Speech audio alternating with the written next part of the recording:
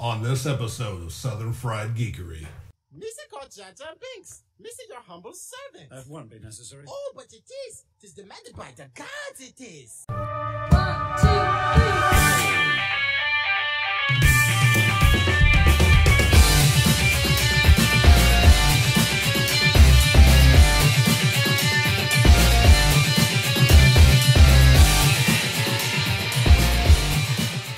So I can't believe that this is maybe the first time ever that I've seen a Marvel movie that the three of you haven't seen. No, yeah, we're totally slacking, dude. It's embarrassing that actually at this point. It's it's been a busy weekend, right? Yeah, it has. yeah. You guys did some con stuff. Uh, everybody else has been going insane, and now now here we are. In fairness, I skipped the con to go see Deadpool. That's true. Craig, Craig is. I think we, we got under Craig's skin. He, he stepped up his movie game like in the past two weeks. He was like, "No, I'm seeing everything." I mean, like, finally. Right? well, you guys want to do a podcast? Yeah, let's roll. Let's do it. Hey, everybody! Welcome to the episode twenty of the episode twenty. That's the thing I just said of the Southern Fried Geekery podcast. Um, hey, we're, we're getting up there in the, the big numbers in the double Yeah. digits. This is awesome. Yeah. It's been 20 weeks since we've been doing this now. I'm kind of stoked. It's really fun. This is a podcast where we all sit around with a couple of a cast of four folks and we talk about geek culture, comics, just kind of anything and everything we want to rap about during the, the show. Um, as always, I'm your one of your hosts, Caleb Alexander McKenzie. I'm Craig Lantz. I'm Sean. I'm Jerry. And uh, you guys want to know why I uh, I drink today? Just to quote another podcast. Why do you drink today? Um, because Sean and I got really excited about some new cosplays that we were gonna do, and we finally got them all together. Uh, we finally cosplayed them yesterday at Little Rock Comic Con. Super excited. We didn't really expect anybody to recognize us. We had one person, which was enough for us. Good. Essentially, Good. Oh, yeah. good. Um, and then we didn't take any pictures. None. Costumes. There's not a single picture of us out there. Wait, you, the Insta, the Yeah. Insta whore, Yeah. did not Not take even a selfie. so we, we literally were, were walking through the convention. I was like, Sean, we need to make sure we get Craig to take a picture of us before we leave this convention. Um, and then 30 minutes later, we were driving home. Sean just said, fuck. How does this happen? Shit's real, bro. Because our because our wingman, who's the third man for a, you know taking pictures when you have a two man cosplay, That's true, was watching yeah. fucking Deadpool. That's all I got. That's all I got. That's all I got. Let's down. Hey, go see Deadpool. I Right, say yeah. that. So uh, yeah, just on that note, because none of us, none of the rest of us have seen it. How how was it? Did you enjoy it? Yeah, it's really good. If you like the uh, first Deadpool, you'll really like this one. It's in the same exact vein. It's the same type of comedy, same. I'm not going to say same storyline because it's obviously a different storyline, but some really good fourth wall stuff that just is laugh out loud funny. I mean, really funny. There's some moments in there that are uh, heart wrenching as well, which is weird for a Deadpool movie, but yeah, Very go cool. go see it. it's all the emotions.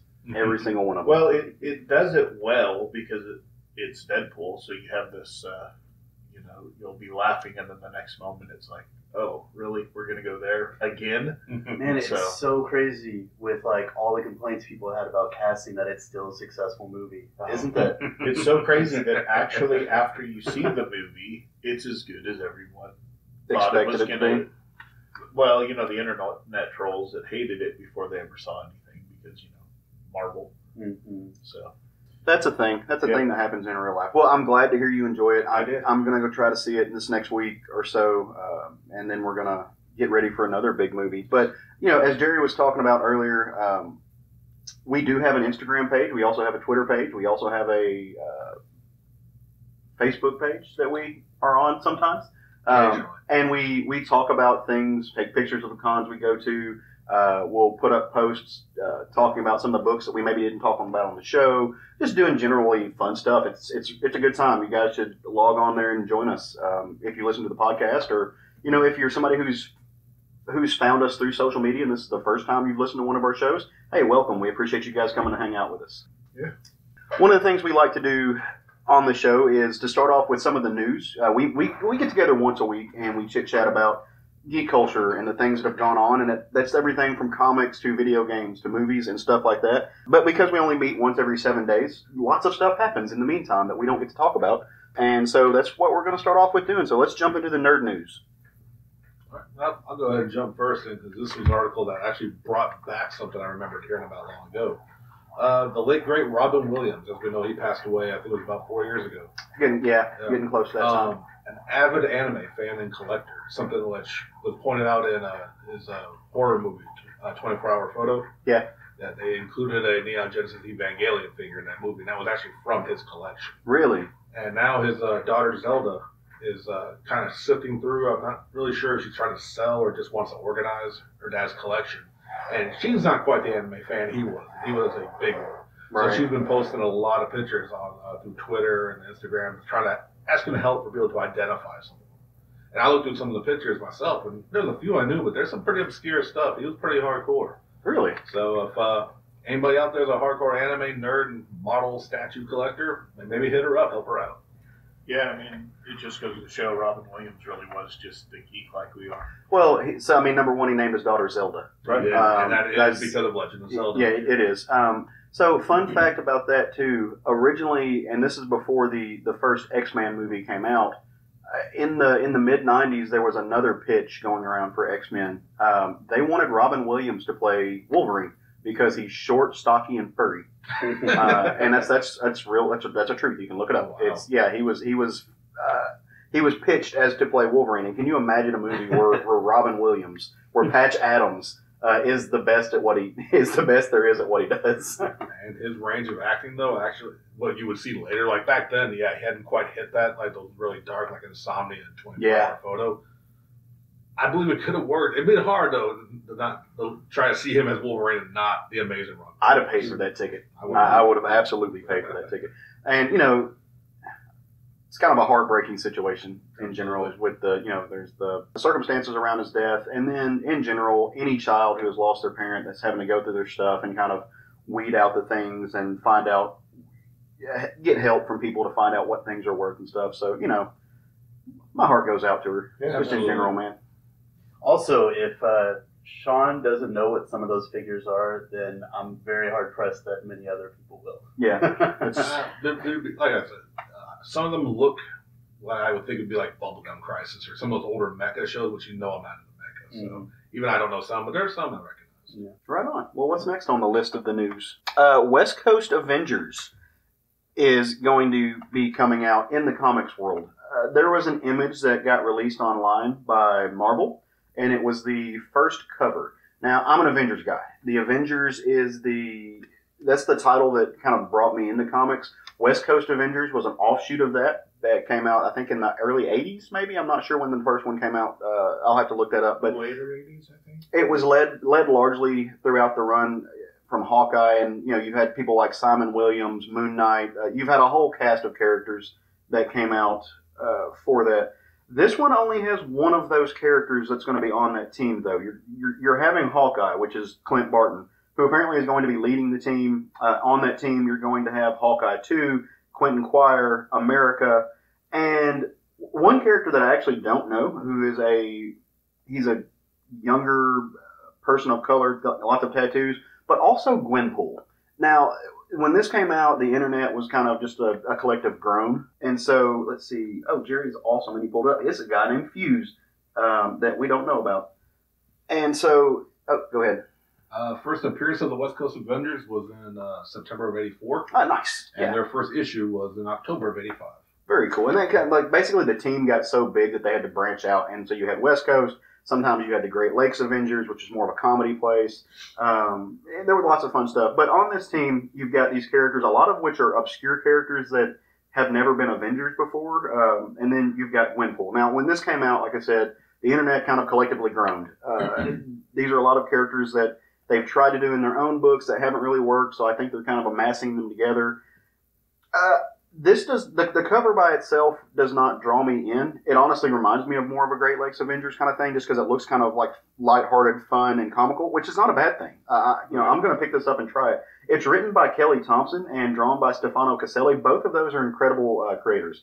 Kelly Thompson's a wonderful writer. I, I actually really like Caselli's art. He's been in a couple other things that I've read. It's well, I, I'm going to see. I'm kind of reserving judgment. I, I get the reservations from people who, when they see this, they're like, "What? You know, what? Like, this looks like more of a young Avengers thing. This doesn't feel like West Coast Avengers, but you know, I'm okay with a Young Avengers theme to it, with like Hawkeye leading it. Uh, the team, and I don't mean the creative team. I'm talking about the actual right characters. Um, they don't do a whole lot to draw me in. Now, some of them, like America Chavez, I want her to have a successful book. So I'm really hoping that this turns out to be that. Um, I'm hoping for the best, not expecting the best. Right. Well, and I like I like Quentin Quire too. Like Yeah, Kid, I'm- Kid Eternity's a like that's a Kid a Omega. Kid Omega. Kid Yeah, Omega, yeah. sorry. I'm actually a, a decent Kid Omega fan. Well, he's a Morrison. He was a Morrison creation, wasn't he? Yeah. Yeah, that's why he's such an asshole. Yeah, well, that makes sense. He had he had a big part in the Wolverine and the X Men Mm-hmm. run where Wolverine took over the X school and was running. They had their adventures in space. Yeah. Nice. So um, yeah, you know, I mean, it, it could be great. It could not be, but you know, give it a shot and see. I'm, I'm definitely going to give it a shot. I did want to just say one thing. The book has not come out yet. All we've seen is a cover. That's right. It's okay if you're not drawn into it. That's fine. It, it's cool. I'm not particularly drawn into this. I don't like Gwenpool. What's not okay is to see one piece of art and immediately dive into some really racist, really sexist, really homophobic, uh, really right, uh, just a bunch of bullshit. So you, you can you can express your distaste for something or even your animosity towards something without diving into a, a massive amount of bigotry. Somebody should tell the internet this because apparently they don't know that. oh, when we get to Lantz Rants. Okay, we're gonna go there. Um, cool. Oh, I'm so excited about a Lantz Rants. we haven't had one in a few weeks, but yeah, um, I, I'm I'm hesitant, but I'm gonna give it a shot. Cautiously optimistic. There you go. Yeah, there you go. Yeah. That's exactly right. So Um, so in other news, uh, they just announced for the CW verse. Um, that's what Arrow, Flash, Legends of Tomorrow, and uh, Supergirl. yeah, they also call it the Arrowverse, I think. Yeah. Oh yeah, the yeah, the. Arrowverse because it started off. Um, they just announced for their big crossover for next year, or I guess it would be this this year, this season. coming upcoming season. um, which they always do right before the uh, mid-season break, is that they're introducing Batwoman. Um, it's interesting, and you guys had mentioned like getting caught up just to uh, to watch it, but um, I'm not current on the CW stuff, but I've I'm only like a, maybe a year behind, so it's literally like one Netflix uh, marathon away. Um, but usually, how the um, how the big crossovers work is they'll introduce like a, a couple characters in it, and that's usually about where they'll go. They might make cameos and stuff like that, but I really feel like what they're doing here is because they've they've hinted on so many other cities um, because you know we've we've got Central City and we've got Star City because of Flash and Arrow. Um, they've uh, they've already introduced Coast City a few times, which is where Green Lantern comes from. Uh, they've introduced Blüdhaven uh, because at one point Roy Harper left and that's where he went. Um, and I'm pretty sure they've mentioned Gotham before because um, they they had Huntress in uh, a season, and I think that's where when she left, that's where she was supposedly at. So this is kind of them like really grinding in that uh, Gotham exists in their universe and that there is the Bat family. And this is going to be the Kate Kane version of that one, Yeah. isn't it? Okay. And yeah, so I had actually heard, and I didn't read the article. I just saw the headline and read a little bit that uh, that they are introducing Gotham as well, Hmm. and it's going to be part of it, the Arrowverse now. Now, to what level, I don't know, but with Gotham's, uh, what is it, Gotham? I guess it's Gotham. The Mm-hmm. show is ending, so they're probably looking for another place to put some of those uh, Bat characters because, I mean, let's be honest, it's a huge draw for the. Well, I, and it's uh, Arrow's the perfect place for them to do it because largely It, it's it's called Arrow, but it's Batman. I mean, Um, they and they've they've introduced so many of like Batman's villains Yeah. into into Arrow and everything that um it- they could it could flow easily. And you know, I, I wouldn't be surprised if they actually with um, Gotham ending, um, and for a while now the uh, the ratings for Arrow have kind of dwindled. Like maybe this is like they're going to be their phase two, where they bring like Gotham and Batman into it, and they kind of phase Arrow out a little because it's it's coming up on like what seven seasons, eight Yeah, seasons. I mean, it wouldn't Um, surprise me to see Arrow kind of disappear, but still have him in shows like Yeah. you have him in the Flash. Oh, yeah. because I mean they're And- not going to get rid of that character. I mean, and and I still I I really enjoy uh, the show. I mean, I got into Arrow back when it first started, and then you know Flash spawned off of that. and then uh, Legends of Tomorrow spawned off of that, and then they absorbed Supergirl into it, and then they took uh, Constantine, which was uh, Yeah. previously NBC, and they've Yeah. been doing stuff That- with Constantine. Uh, I'm so sad they can't. Like I, I actually, I, I watched that. Yeah. I love. Oh, it. it so, was- it was so awesome one thing show. they could do to breathe some, and then we'll move on. But one thing they could do to breathe some air into Arrow is some of Green Arrow's best stuff is when he's teamed up with Green Lantern. yeah, So you could make uh, Hal Jordan show up, and you have a Hal Jordan Green And- Arrow. And that's honestly the crossover that I've been waiting for because with all their stuff with uh, they've all since like season one, I think they've Yeah. mentioned Ferris Air, Yeah. and uh, they even had a, uh, a flashback scene. Well, there was a scene where he was on the island, and they found these these troops that were going to shoot down a plane, and the plane was Ferris Air. yeah, yeah. Um, and then they had a, a scene where they were in a bar and it was like a flashback and Oliver was there. And the first little snippet that they show is like somebody from the neck down in a flight suit and the, the badge said Jordan on Yeah. it. So they've been they've been teasing it for a long time, and I, especially with him being best friends with uh, uh, Barry and Yeah. with uh, Oliver. Yeah. I, I think it would go well. But yeah, Batwoman coming to CW this fall. Awesome. Well, yeah, and just before we get off there, if you want to, if you don't know who Batwoman is, because I don't think a lot of people outside of comics may know who Batgirl is. Batgirl and Batwoman are two different things. Marguerite Bennett has been writing a great run. It's actually going to be ending soon. Uh, they announced that as well. But um, get to your local comic shop. There's a good chance they've got Batwoman singles, or you can find trades. Uh, it's it's good. It's worth picking up. They're First doing really cool was stuff. Fifty-two. It was, um, and drawn by Mr. Ken Lashley. Yeah. So um, I, I'm a big fan of hers. A little bit of quick news is uh, they gave a little more information on the third season of Young Justice. It's going to be Young Justice Outsiders. Oh, that's awesome. Yeah, which is a as, as the title implies, it'll be actually focusing on the team Outsiders, Really, as, along with the core member from the original Justice, the Young Justice uh, cartoon. Uh, as you know, that it was originally airing on uh, Cartoon Network. Mhm. Then they got canceled and moved to Netflix. But uh, basically, through the fans actually speaking up and wanting to see the show come back. it's really good. Well, that's what I love about Netflix is that some of these shows can be brought over there and saved.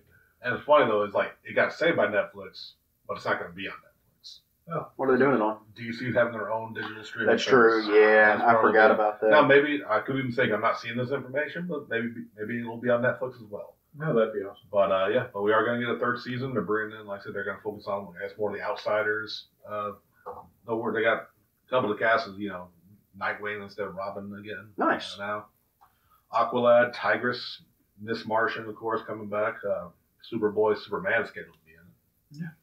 Uh, Barbara Gordon, Bat or Batgirl, Queen Bee. Right. Some of the cast they've listed already. I have a question about the super the Superboy. Do you, do you know if it's going to be Jonathan Kent or It's if they're Connor. doing if they're doing Connor still? He's okay. been Con- yeah, as Yeah. far as- at least here is listed because Nolan North, he's voicing both Connor Kent and Clark. Okay. Clark so. it's gonna be fun. I thought I know that They're they sticking used with him for the Connor. first two seasons. I just I, yeah I, I worded that wrong, but clone clone Superboy. I don't word good. I don't word good sometimes. All right, but uh, looking forward to seeing it. Hopefully, uh, be honest, I don't know if I want to pay for yet another streaming service, but I'm glad they're continuing the series. That yeah, and that's a thing. So, uh, speaking of streaming services and superhero shows, Daredevil, uh, they have cast Bullseye for Nice. season three, which I'm super excited about. Uh, I'm glad to see Bullseye coming into that verse, what you know, that universe. Uh, one of my favorite Daredevil villains. He's yeah, hands down. Yeah. Um, so, uh, read a mini series from him years ago where he actually started as a as a pitcher in baseball. That makes And sense. because he's bullseye, threw a no hitter in his first game, and then just walked off and never returned. so uh, you know, I I'm looking forward to it. I didn't see who was cast. Did you? I saw who was cast. I don't remember his name, and I've never seen anything that he's been in. But that doesn't mean anything, not because they're, they're the casting for Marvel just across the board has been great. Uh, Well, I'm just excited for the character. I just want Netflix to throw a little shade, and like the first person Bullseye kills when he shows up is some bald headed dude with a beanie listening to some Evanescence on a boombox. That'd be great. That's all I want. Uh, But the, but Colin Farrell was so great in that movie showing. do you think he's going to be Irish?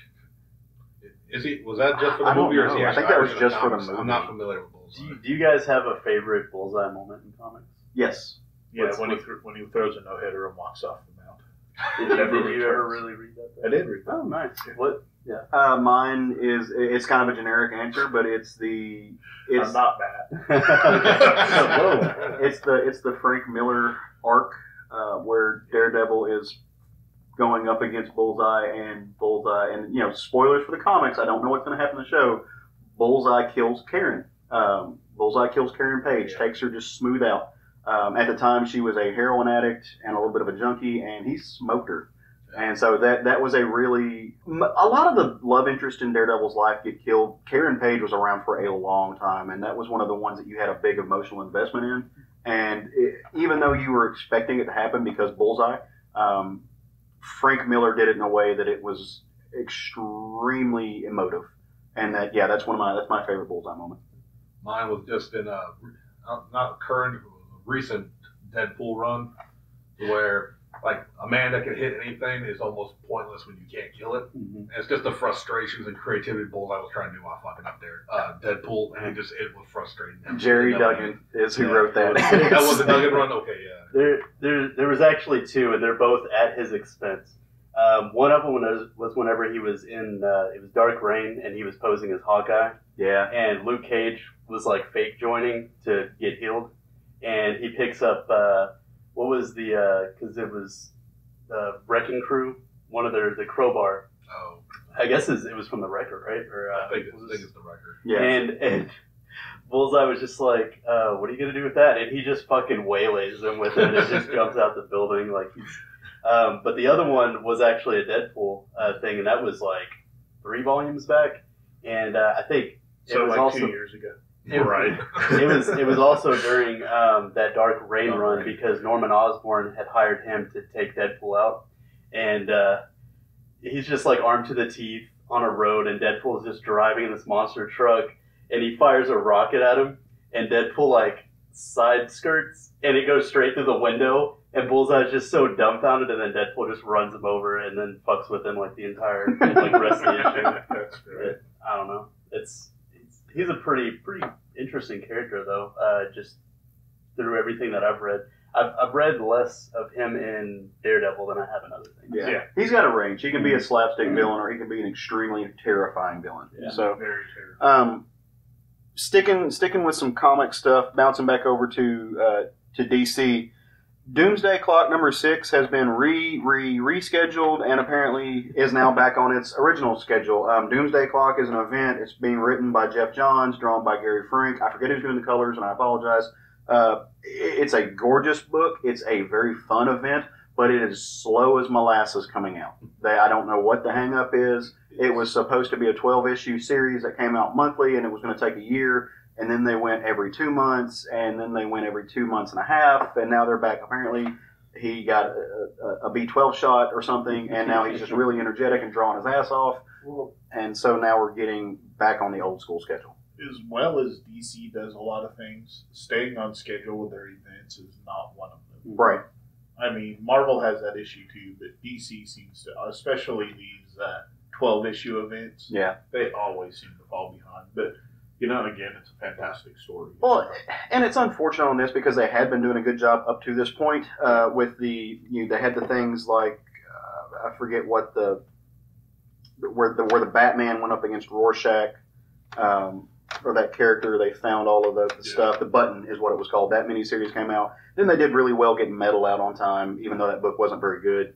Uh, and it, it's just unfortunate because this was the one I was looking forward to. It's it's bringing the Watchmen characters into the DC universe, or at least bringing those mantles in and doing some really cool stuff with it. It- It's worth picking up, but it's just you lose my interest if after two and a half months I haven't been able to read it and I forget what happens. Yeah. Might as well just trade wait. In the world of comics, if you trade wait, things don't sell. They don't do very well. And So- and it's really one of those things that DC is so so bad with their trade paperback releases. Like Yeah. you'll have like almost six month wait on a trade after a series ends. It's kind of sad, but, But I- I'm happy it's apparently back on its original schedule. I'll so. definitely be rereading one through four when five Five comes comes out. out, yeah. Um, so in other DC news, um, they just announced a new movie, right? Not show, or is it show? No, it is a show. Never mind, I have it right here. Um, so, and and I I read and We're I, well prepared. yeah, I know, right? Um, it's actually coming after uh, Titans. Uh, apparently, it's going to spawn off of that. Okay. So we just talked about the Arrowverse. So we're already like two more shows deep in of live action superhero stuff. Um, Well, they're playing. Well, I mean, like, not trying to be super negative about anything. We'll see if they work. Yeah. So, Oh, yeah, they, yeah. They are going through differently because uh, Titans, and I'm assuming this if it's spun off as TNT instead of the CW. Oh yeah. Oh yeah, yeah, yeah. No, uh, I I don't feel like CW could really take any more superhero shows. Like they've got so many already. But so anyway, um, I don't know how much you guys know about. I know you two aren't really super privy on on Doom Patrol. I tried. I tried to get into the young animal stuff. It's it's not my cup of tea. That's not to say that it's not a, a, a good quality. It just I didn't dig it. I um I know, I know Beast Boy came from them. Yeah. Did he? Yeah. um I think that was his debut. They, uh, I, I kind of fell off that one, but uh, not because the story wasn't interesting. It just the release. date. Yeah, scheduling. Yeah, It- it's scheduling been it. worse than their. Um, I but before before this one was even announced, uh, before that uh, series, I read the entire. I still have the omnibus of Grant Morrison's, and holy shit, Yeah. um, that was that was some good stuff. Uh, the uh, the characters, if you're not familiar with them, uh, Robot Man, Negative Man. Um, I don't remember Elastigirl, so I, I kind of feel like she's an add-on because she's in Terrifics right now, right? Or no, I'm thinking I'm thinking of. Uh, plastic. yeah. I don't remember Elastigirl. She wasn't in um, the stuff that I read. Uh, and then they have Crazy Jane and the Chief, which is the person that's running. That's the man, their man in the chair, essentially. Um, the whole synopsis of these characters are they they all come from like some kind of just crazy tragedy, and their lives were, were changed by their abilities, and they essentially saved the, the world from the weird, like the weird shit out there you'll have like Superman and you know all your big heroes saving from all these huge like entities, but then you'll have this weird shit like a painting that's eating cities, and like they'll go in and have to put an end to that, and it's it's crazy, and I'm really hoping that all that craziness kind of follows through into the show. Um, I'm Yeah. I'm completely. I mean, I'm completely down with it. I know our friend Dalton is because Yeah, he absolutely. fucking loves Doom Patrol. Yep. And uh, as as long as they do all the characters right, I think everybody will be 110 percent down with it. Uh, just from if it's the same people uh, that are doing that uh, Titans series, because all their costumes look on point. Like they all look really good. Um, I, I don't feel like we'll have any kind of problems with that at all. I just Robot Man, I know is Dalton's favorite, is my favorite as well in the team, and I feel like if they kind of mess him up, then they're they're gonna have us on a bit of a fence there. But Kind of like Old Basin. DC They DC haven't hasn't right. really straight us wrong as far as TV shows, um, so I, I I feel fairly confident in it. It comes out in uh, it looks like 2019 It's uh, on their DC. watching. It's it's on the DC streaming service. Okay. Oh, Yeah, yeah. So, which um, I didn't look into Titans before this, but I don't know. I'm sh- may on there too. I'm sure it will be. yeah. I'm sure all of their shows. I, I would imagine even the CW shows are going to end up on there. Yeah. I mean, I mean, look, eh, people people are unplugging from traditional television services. I, I'm one of them. Yeah. I don't have cable. I don't have satellite. I don't have it plugged in to get uh, two, four, seven, eleven, your basic channels. I have Netflix, Hulu, and Vudu. Um, Yeah. That's that's the way. That's I, and I don't watch a lot of TV anyway. I know that's beating a dead horse because I say it every episode, but I just don't. Yeah. But and so a lot of people, CBS has done it. Uh, now DC is doing it. Marvel's talked about it. Um, the walk, Walking. Dead, yeah, Disney, the Walking Dead channel, A- AMC, they're they're all doing their own. Uh, that's that's all I know from AMC. Yeah, the Breaking Um, channel. that's that's also Dead the. Preacher channel, I think. Um, you know, they're they're all doing their own streaming services, and it's largely going that way. And Badlands, Um, which-. It's both good and bad. I'm going to be a little miffed if, if in order to watch the shows I want to watch, I get a bill equivalent to what I was paying for for cable because I've got to have 75 different $10 a month. Unfortunately, Uh, yeah, that is probably Which- what's, which means I'm not. Which means I'm not. I'm just. I'm, I'm going to go buy my comics and sit with my well, what's dogs going to and happen be an is old people man. are going to choose which stations they want, which has kind of been the whole thing all along. Is people just wanted to choose their stations on cable to begin with. Is so if they would have just allowed that, cable would still be a I feel like what we're eventually going to be getting are services that combine a bunch of them in a monthly payment. Like uh, they have that one that uh, Crunchyroll's on now. Uh, what is it? VRV. Yeah, uh, VRV or Verve or yeah.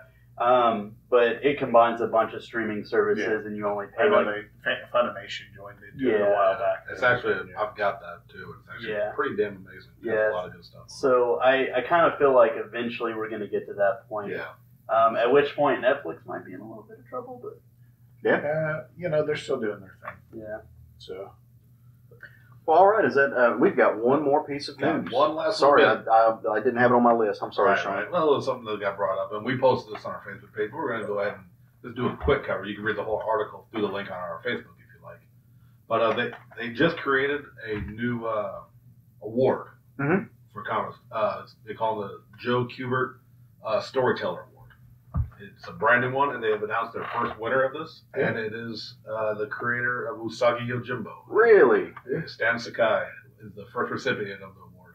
nice. Uh, I've talked about Usagi, and maybe one day we'll do a special on it because this is a book that needs attention. Yeah. I mean, he's been he's been making the book since 1984 about a cartoon rabbit samurai, and it's one of the most epic stories you could ever read. So, Very congrats to Stan Sakai. that's that's really and, exciting. uh, really is. Love love to hear Usagi is getting more love. absolutely. Awesome. Well, is there has there been any breaking news since we started recording? Because that's a possibility. Uh, we all we all good to move on. And Uh, they, they they did announce something this week, Uh-oh. and I didn't. I wasn't gonna talk about it, but uh, they announced a new Thundercats series, and the the only thing that I really want to say, um, people, you know, in this day and age with the internet, people are really quick to judge something just based on how it looks, without even knowing anything about it or, um, you know, what it's even gonna be like. Uh, just don't judge things before you actually watch it. You know? Well, here's the other thing. They didn't ruin your childhood. Yeah, The Thundercats that you watched as a kid is still out there and available. Go watch, go buy it and watch it if you want to watch it. Don't try to run something new that's coming out because you don't like the style of it. You know what? Cartoon Network's nailed a lot of things lately. Give them a chance. I mean, people are griping about, from what I understand, and, and granted, I don't know a lot about Thundercats other than just being, like being around it peripherally. Mhm. People are complaining more so about the animation style, Yeah. I think. But to, to me, and I'm not, I'm not as plugged into animation as you guys are. Um, it looks a lot like stuff from the Adventure Time or Tiny Titans uh, or whatever they Steven show. Universe is Steven reminds Universe me Yeah, is. Ben- the, the big one. Ben 10 kind of And, stuff. and that's my, my big thing is like Steven Universe is a fantastic show. Like it's really deep, Yeah. and there's no reason why um, Thundercats can't be that way too. And, because and not to mention, so. like, Well, it's it's Teen Titans all over again. mhm. They're going with a new style, a new look, which is a response to everyone else who fucking loves Adventure Time, Mhm. Steven Universe, and those other great shows. yeah. But they're complaining because it's not doesn't look like, and most of these people aren't even old enough to appreciate the '80s cartoon, which I wasn't even a fan of. Just throwing that out. there. It wasn't good. It wasn't. But I'm gonna rage quit if Well, you we guys would call it my show Sorry. but what people are actually mad about is that it doesn't look like the reboot from the early 2000s Thundercats Part Uh, that that they know that watched. nobody watched because they only got one season because y'all motherfuckers weren't watching that either. right? So quit bitching, give it at least a chance, or don't. or don't, Or don't, don't Yeah. shut up about it. We- exactly. We, we don't care that you don't want to watch the show. We don't care that you don't want to watch the royal wedding. We don't care about the things you don't you don't care about. We just Which don't. kind of leads to our next segment. we don't care about does. laurels. We don't care about Yannies. Yannies. um, all right. Well, let's. hey, pop culture relevant, man. Um, let's get into it. So, uh, we're in the middle of blockbuster movie seasons when all the tentpole things are coming out, uh, and, and you know what? Two weeks ago, three weeks ago, going on, we had Avengers come out and break all the things, just blew people's minds. Now Deadpool is out. Craig's t- raving about how good it is, and we've got another film coming up this next week that's going to debut. Um, in kind of the the spirit of what we did with the Avengers going into it, we wanted to give the Star Wars universe its due and proper. Solo is about to hit the big screen. Everybody's really excited about it. They've got a great cast. the The trailers have gotten better uh, progressively. It's it, a lot of people are excited about. it. You can feel it in the air and, and in the geek culture, in the geek circles, you can feel it. It's it's almost it's almost animated how how excited people are getting for that. So this is also Craig's bread and butter. We've mentioned on the show he's got a full sleeve tattoo of nothing but Star Wars stuff. He's wearing his Star Wars shirt right now in honor of talking about it. One of my Star Wars. One of his one of his massive collections of Star Wars shirts. Uh, he's got uh, he owns I want to say almost every action figure. Yes, Um, Jerry, you have one. too. Jerry also is Yeah. wearing his. This is my Um, interpretation. Everybody acknowledge Jerry. Look at Jerry. this is my interpretation of the toxic Star Wars fan base when they see something that Yeah. they don't like. I don't like you. Uh, Um, so we want to give it to him proper, uh, and we're going to. We're going to be talking about all things Star Wars on this one. We're going to run it differently than our our comic uh, episodes where we break down books. We're not really going to do that. We're going to talk about a few comics, but guess what? They're going to be Star Wars comics. Uh, but we're gonna we're gonna just jump into into our appreciation of the entire George Lucas monolith of things that, that he has created uh, since what 1978 is Yeah, when it no, came out. 1976. 1976. So, but before we do that, um, I am I am honored. I'm privileged to to to introduce uh, what is what is destined to be a moment of glory.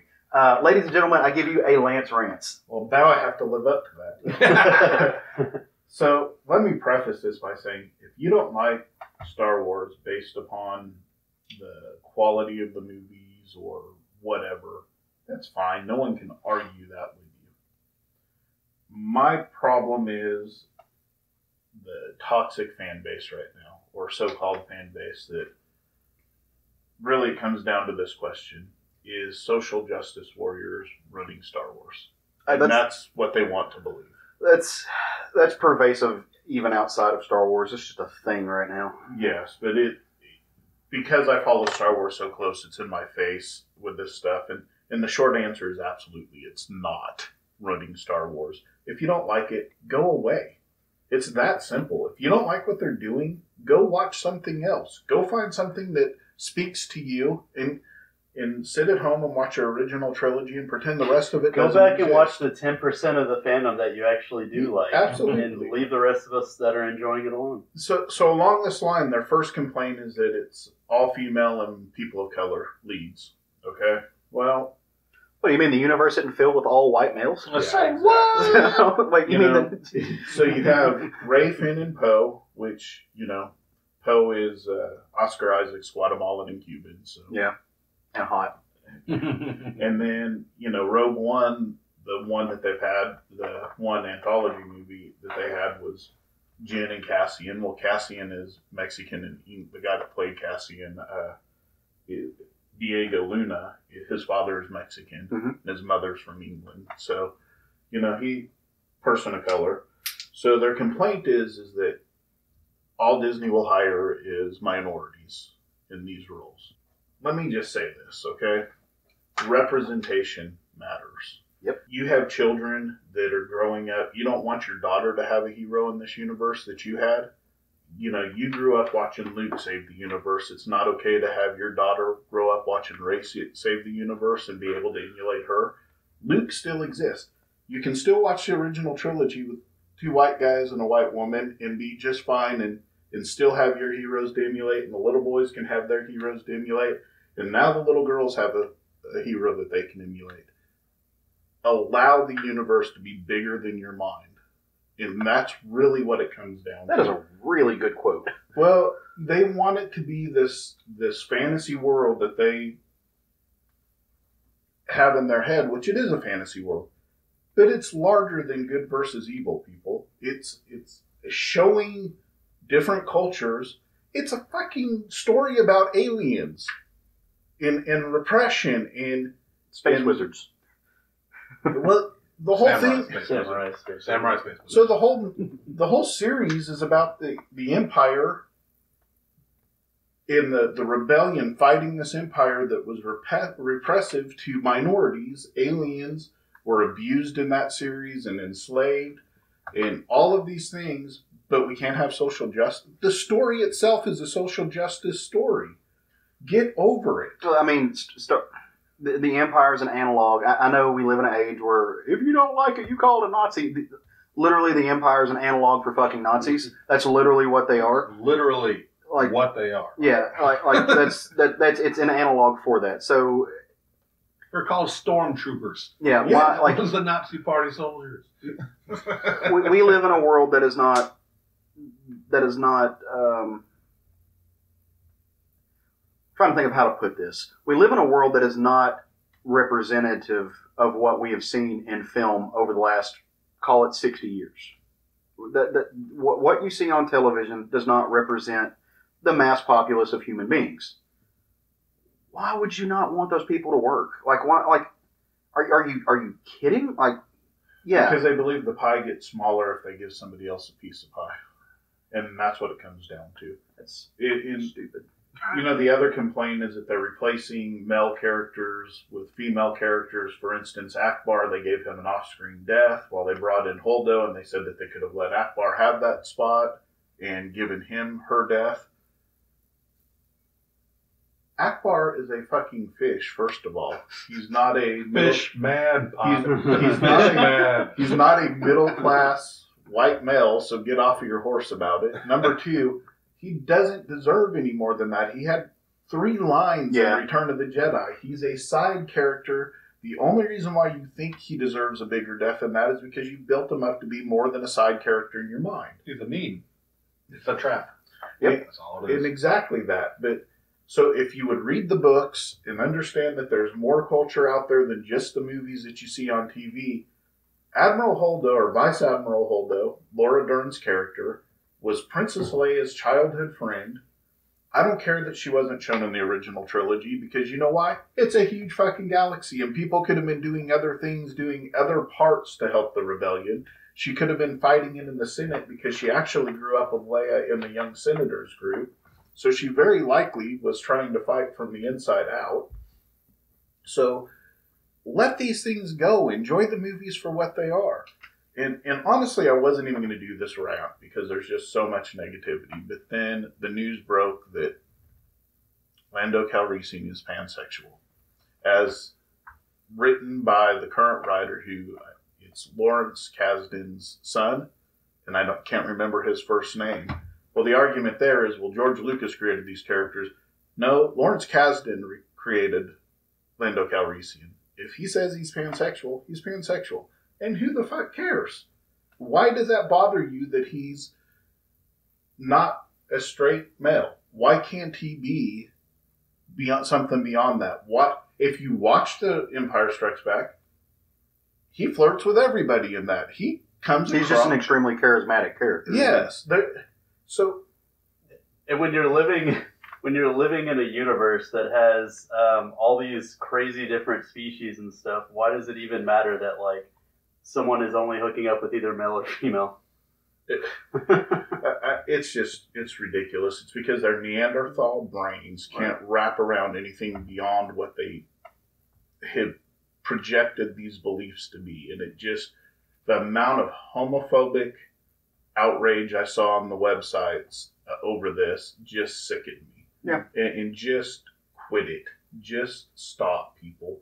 Quit being assholes. Learn to accept that there's a wider world out there than what you know and get the fuck over it and quit watching Star Wars if it bothers you. Go the fuck away.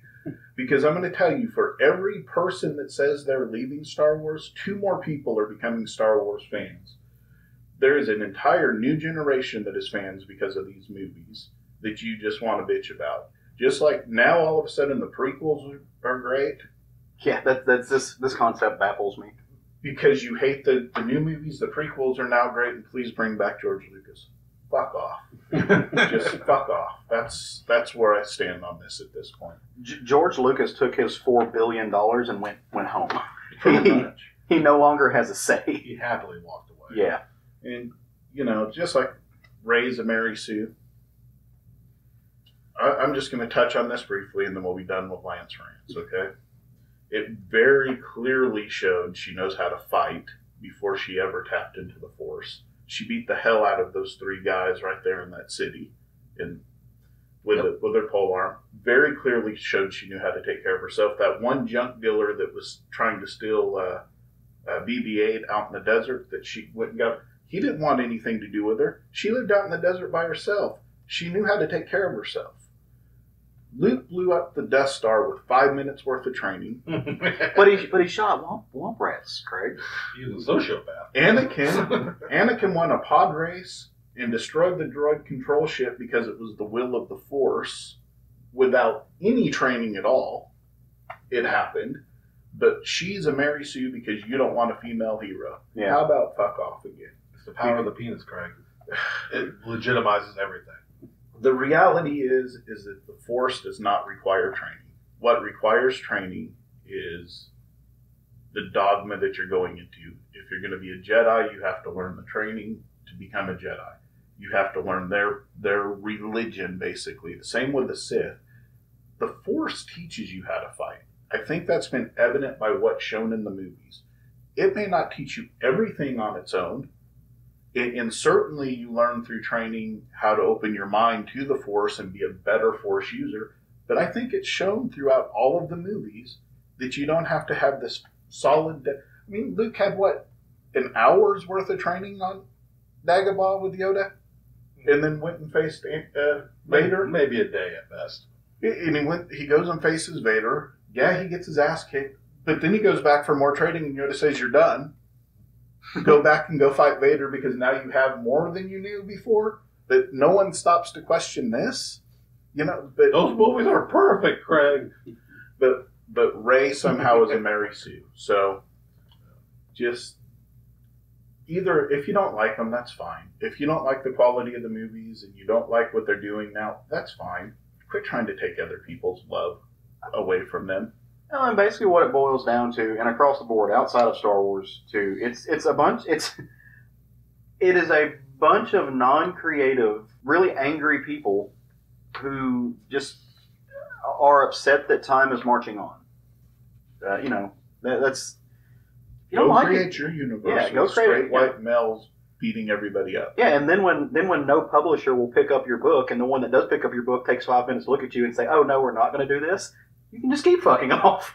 Well, and they use they use the example of uh, the gross of the Last Jedi versus the Force Awakens.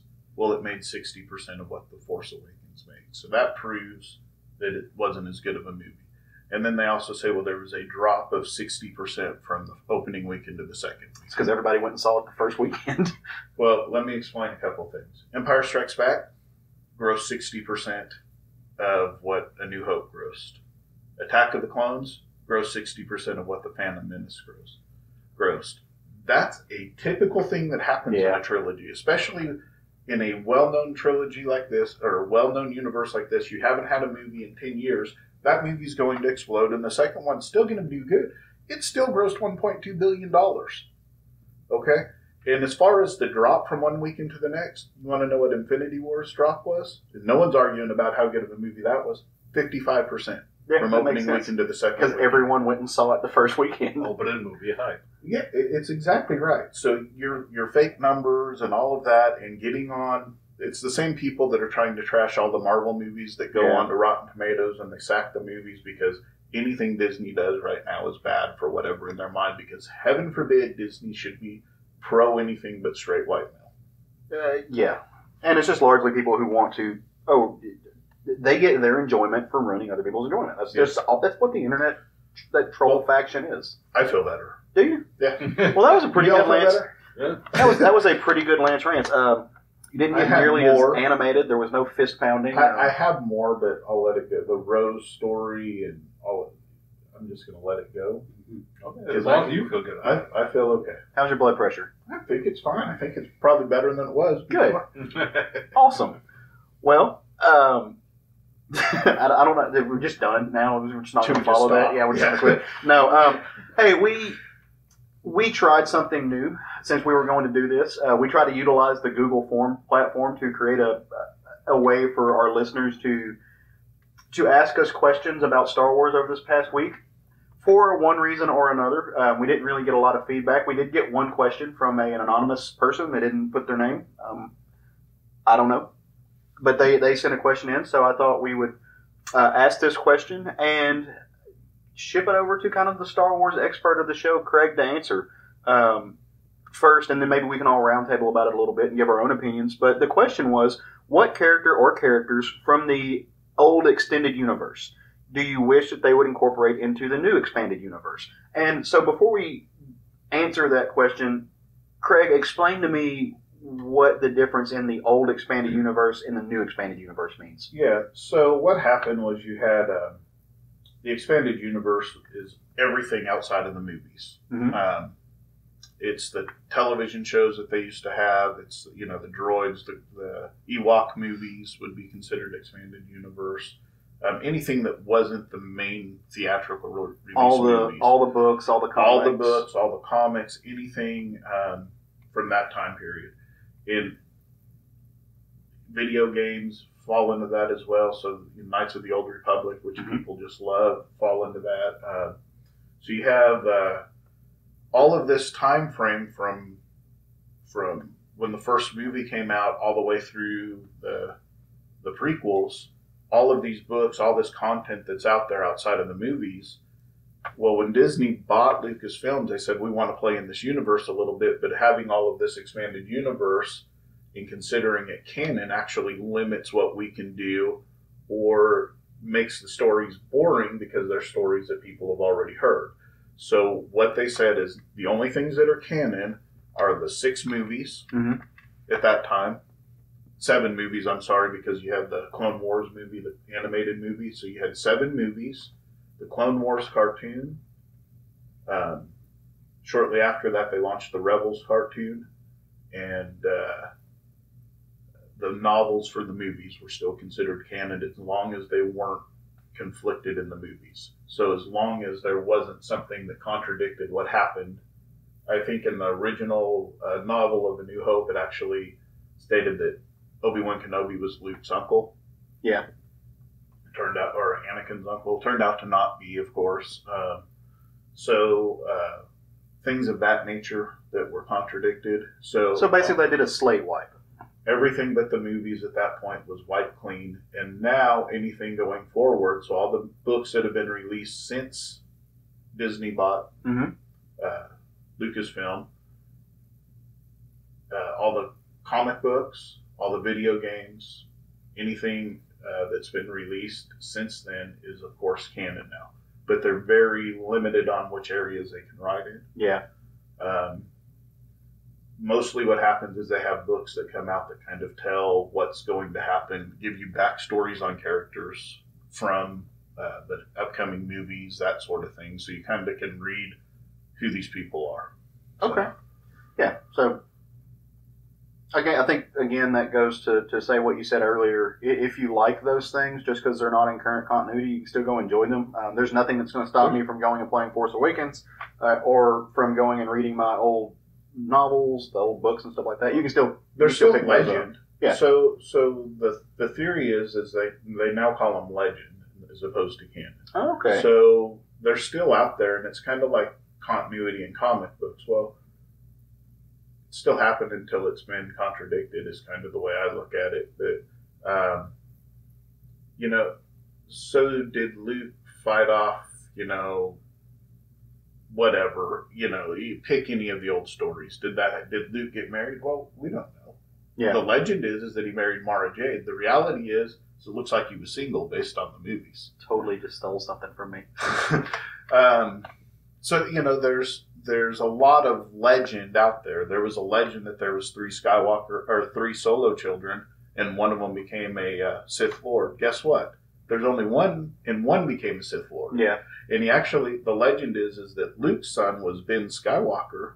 Well, it turns out it was actually Ben Solo. Huh? So you know, the legends. That's how you have to look. This is a legend. They're, they're they- stories from a galaxy far at- away a long time ago. look at his mythology. It's Yeah. Maybe not 100% accurate, but some of it's still there and the threads are still running through. And um, I don't know what I stole from you, but Mara may actually be in the next movie. They're trying to cast somebody named Mara. Okay. So whether that ends up being Mara Jade or Mara Jade Skywalker or whatever, we don't know. It'd be awesome if there was a Mara Jade Skywalker that showed up and actually was able to help out in some way. But however it turns out, Well, so what you stole from me was was the answer to this question. Is I was going to say um, the character I want them to bring back from the old continuity was Mara Jade, who was Yeah. the wife of Luke, um, a pretty badass character in her own right. So, but um, what character for you? Uh, what character from the old continuity or from the legends do you wish that they would bring into the current mainstream continuity? Well, I touched on a few of them. Uh,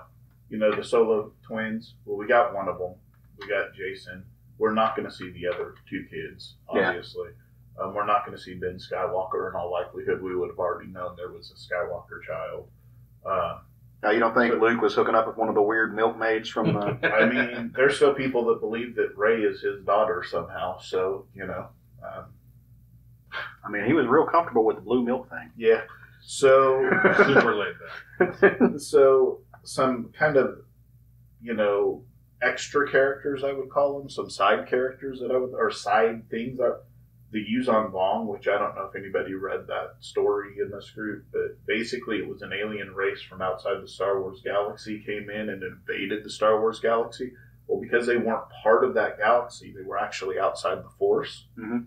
So, whereas when the Jedi fought anybody within that galaxy, they could foresee their movements. It gave them an edge in fighting. They didn't have that edge when fighting these guys because they fought outside the Force. Yeah. Cool. And they actually had animals that could sense the Force and used them to hunt down Jedi.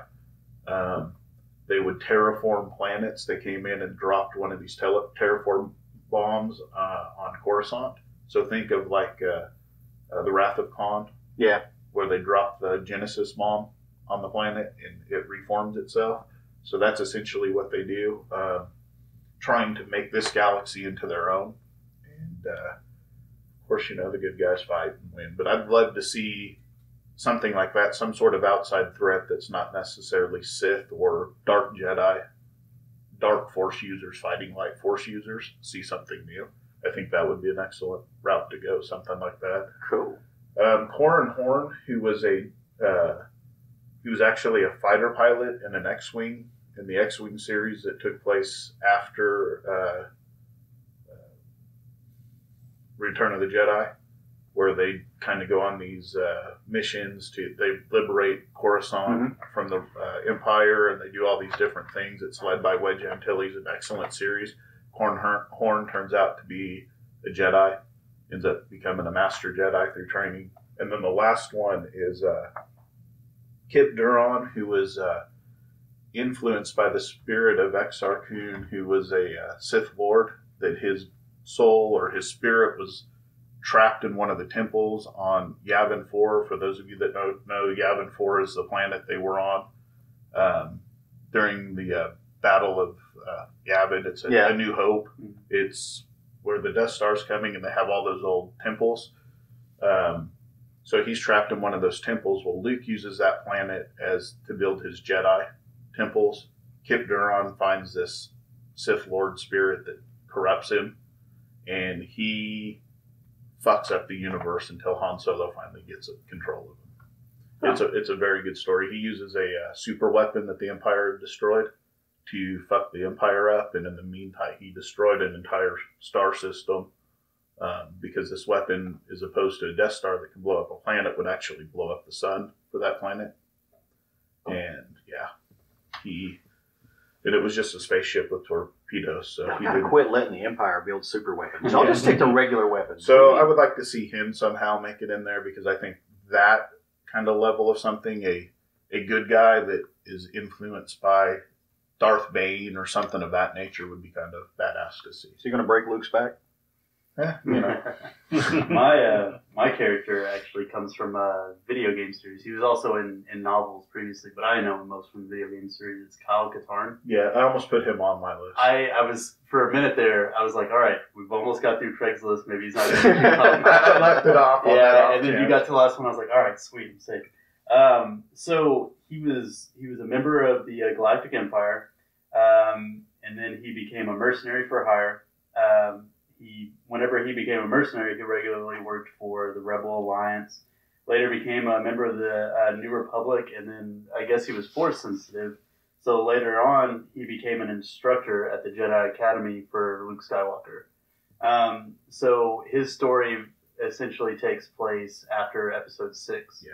Um, I just like I always really liked the Jedi Knight series. Um, Jedi Outcast was a lot of fun, and I mean just the video games in general. Just the sheer amount of work they made you do before they finally gave you a lightsaber Oh, in yeah. those games, but it made all the difference in it. Um, but he was just a really interesting character, and um, it's I don't know, it was just kind of cool for him to go through that whole like it's it's almost sort of how I thought Finn would go in the the new trilogy because he started off with the Empire, but uh, I mean Empire to mercenary to working with the New Republic to becoming an actual Jedi and stuff was really cool. Yeah. And he was just an interesting character, and he was in a lot of the books. Um, the last game I, pe- I actually played was actually on Xbox, and it was uh, Jedi Academy, Mhm. and he was your master Yeah. in it. Um, your and he trained you and everything. Um, he was in a few of the books, uh, the New Jedi Order, uh, the Dark Nest trilogy, um, Both were excellent series. uh, Legacy of the Force, um, and then he was in a few other things. Uh, Yeah, the Jedi, the Jedi Order, and the Legacy of the Force were the ones where uh, Jacen Solo became Darth Caedus, and yeah. But see, they um, they still haven't touched on that um, that bit before six episode six and episode seven. So my my kind of hope is because the uh, the new animated series is supposed to fill that gap a bit. So I'm kind of hoping that maybe they, they give him a cameo in that or something. I, I think that would be kind of awesome. I really think that uh, we're going to see some of these expanded universe characters fall into that area uh, era. I mean, um, we're also going to see, I think, a young Luke Skywalker Jedi Master Mhm. movie. Um, I think we're going to see a Snoke movie somewhere in there, giving us his background. or at least a comic. I think I, I hope they do Something. We're going Yeah. to see something. So What about you, Sean? Well, admittedly, my Star Wars doesn't go much outside the movies. Yeah. So I got a little bit though. Got a question if what this character because I'm pretty sure it showed up in newer canon, but also might be technically old. He said old canon Yeah. before Disney purchased. Yeah. The Clone Wars cartoon. that is actually canon now, but that's okay. current We- canon? Yeah. Go ahead. Go with it. Ventress. Yeah. I mean, Asajj Ventress is a great. Uh, She's a bald badass with two lightsabers. I like dual wielding. That's, that's legit. Right. it. that's the only reason. and a little She information on her, she actually ends up not becoming a good guy, but Right. she actually ends up helping the good guy. I did see some of that. Yeah, and and there's a book where that actually plays out really well. She ends up actually sacrificing herself and then Oh, uh, okay. Didn't know. I know she teamed up with Anakin in the cartoon, like Yeah. fight. some Yeah, soldiers. Craig, She- Craig had to give me that because I finished Clone Wars and I was in the middle of Rebels and I was like, God, I hope she shows up in this. And Craig was like, Well, actually, there's this novel. He will actually. yeah, it, it's unfortunate because I mean it was such a good novel that she falls in love with a Jedi and he falls in love with her. He goes a little bit dark, she goes a little bit light. Obi Wan goes and has to like pull him back out of the dark. But um, She she had a really really- big turnaround in Clone Wars. It was- Yeah.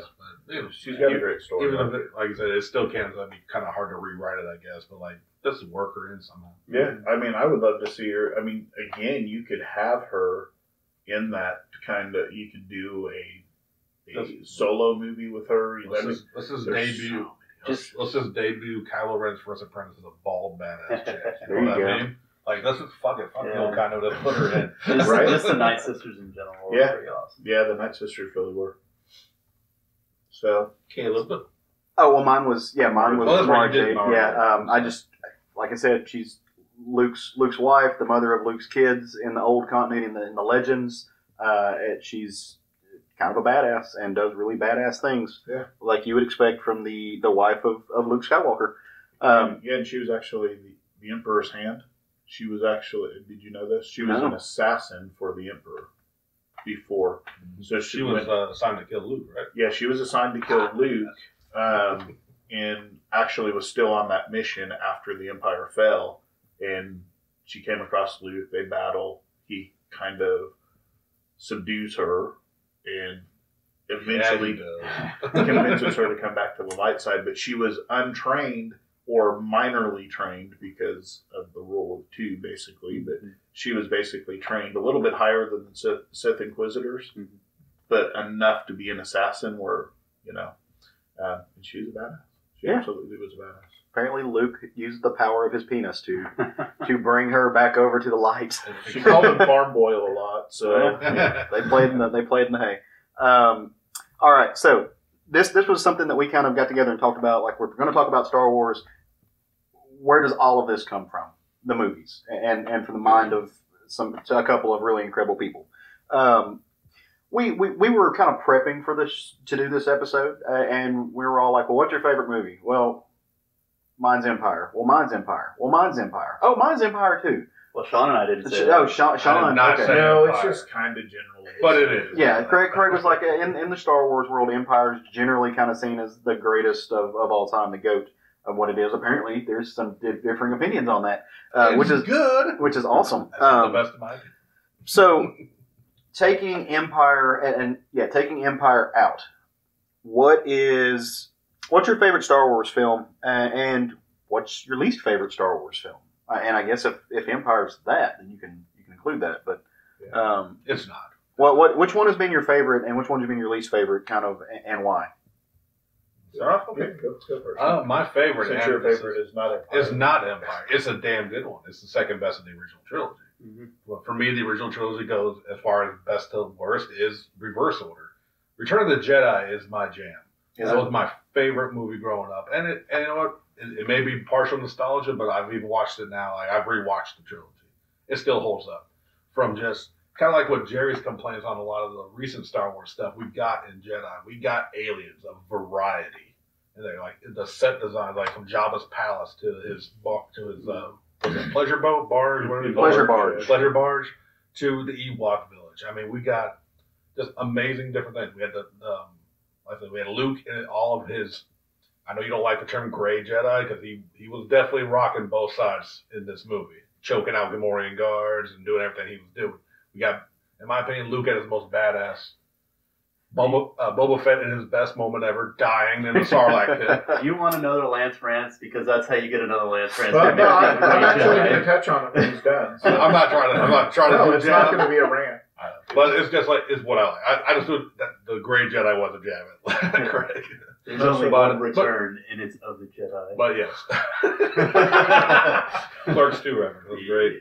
Um, but no, but that was I just I loved everything about it. It was just those those crazy aliens, the action, the everything. That was that's my favorite. Well, let's touch on the Luke being a Grey Jedi because Just choking people. he was. He absolutely He was. force choked folks. So, so in the Phantom Menace, uh, Qui Gon Jinn talks about the uh, unifying force. Right.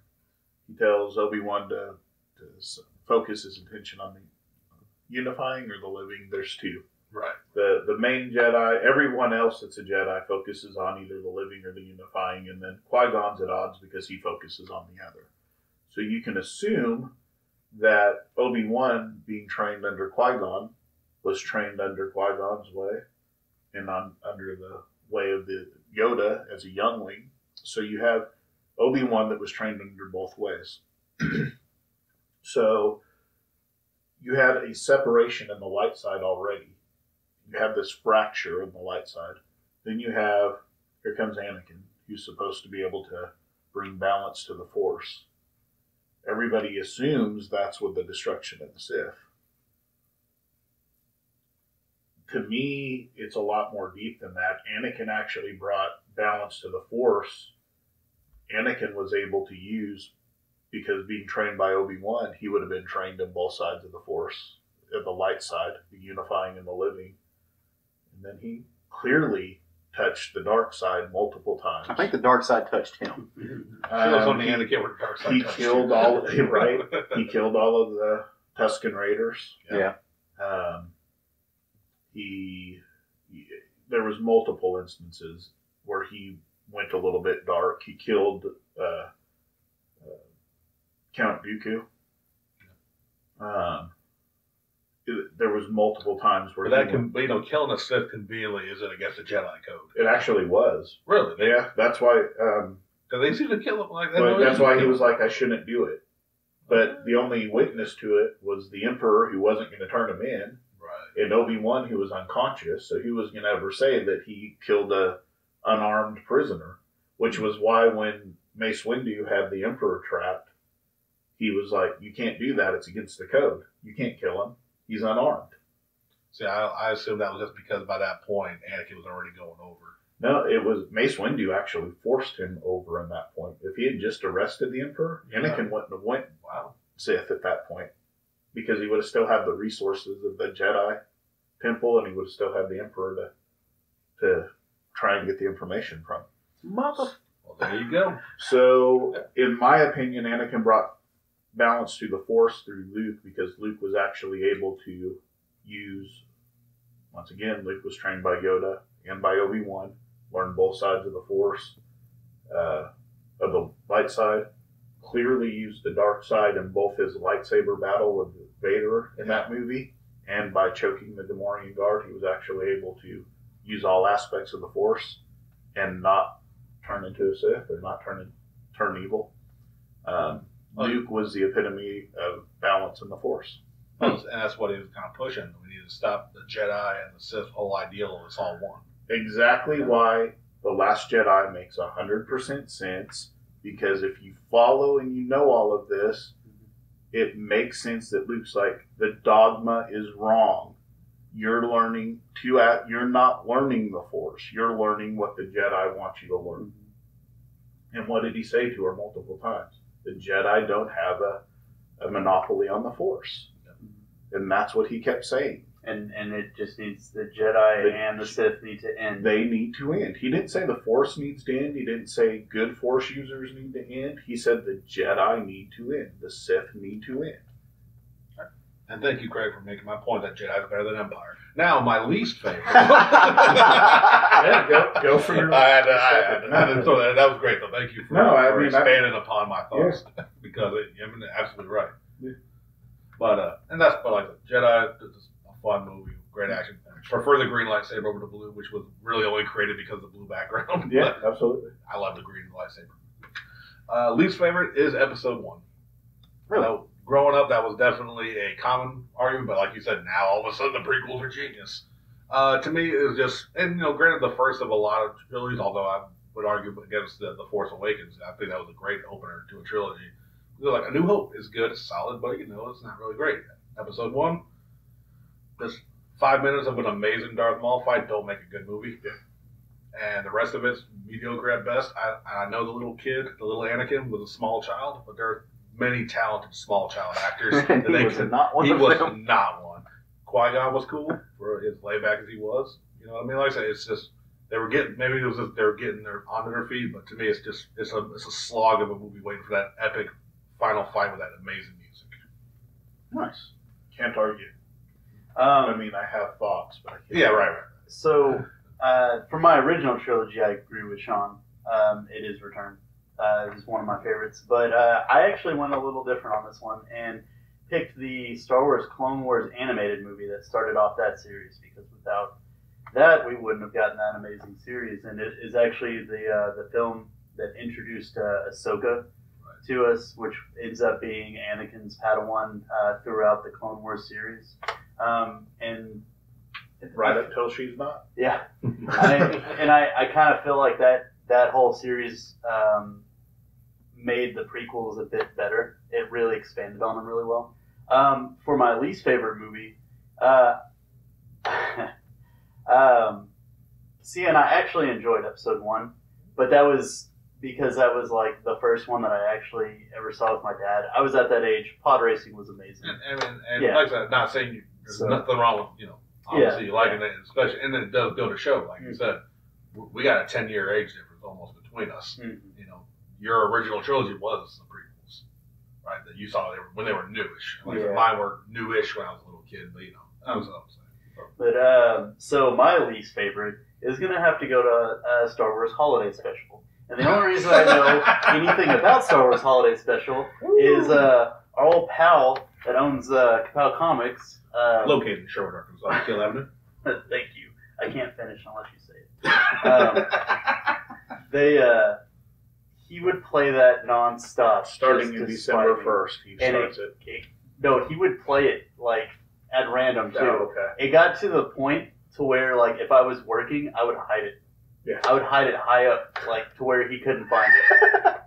because I didn't want to watch that shit another fucking second of it. So if you Well- don't know, the Star Wars Holiday Special kind of spawns off of the hype of uh, the original trilogy. I think it started after uh, was it episode seven No, it, or I was mean, actually episode after, five? It was actually after uh, uh, A New Hope. Oh, okay. It was they had a bunch of extra footage Mhm. and they used a lot of that for the scenes, and Yeah. they used some copied footage from the movie, and then they had musical for some reason. Yeah, and that fantastic Boba Fett animated thing that they did. we got Boba Fett out of it. Look, to the surprise of no guy, nobody, the gay guy is going to defend the Golden Girl. Bea Arthur's a gift, so you're wrong Her because of Bea character Arthur. is Oh, actually canon. Yeah, I know they made that. Yeah, you were yeah, telling me yeah, about that. the- yeah, one of the books uh, she's actually mentioned. In You don't- canon. You don't just come up in my in the podcast and besmirch a Golden Girls line. I, I never said anything negatively to her. If you want to go up there and watch fucking Star Wars Holiday Special from opening to close with Jerry, Matthew, It's Jerry a said, for- "Let the record reflect." I did not. Didn't- And There's You go for 45 minutes of Wookiees talking without Yes. subtitles or anything to translate. yeah. Uncle Stinky is a treasure. All right. Next, please move on. I want to get Uh, the taste out of Star Wars. yeah, so- I'll go. Um, my favorite one is actually A New Hope, uh, and this it, this still stands today. Um, I I like A New Hope, and then uh, episode I guess it would be seven that came out a few years ago. Force Awakens. Force Awakens. That's that's next in line for me. I, I love both of those, but I got to give it to A New Hope because that's kind of the the vehicle that started the whole thing. That's kind of where you know. You, you, that's where a lot of the lore spins from, and the filmmakers had the wherewithal to put in these little bitty, incy bincy, tiny moments in the backgrounds and foregrounds, and that just kind of that, that exploded. It was like a big bang of of, Built a of geekdom and built a universe. I love the can- cantina scene. I love everything about those characters that kind of just spawned out of that. It's just fun. It- It's just it- it's what made me fall in love with it. I I love the lore of of Tatooine. Um, I, you know, crazy old man living in the desert. That that's just cool. Um, Han shot first. You know, you, you get those moments. It's where you, it introduces everything. It introduces all the characters that you fall in love with. You get Leia, you get Luke, you get Han, you get Chewie, you, you get Obi Wan, uh, you get rid of Obi Wan.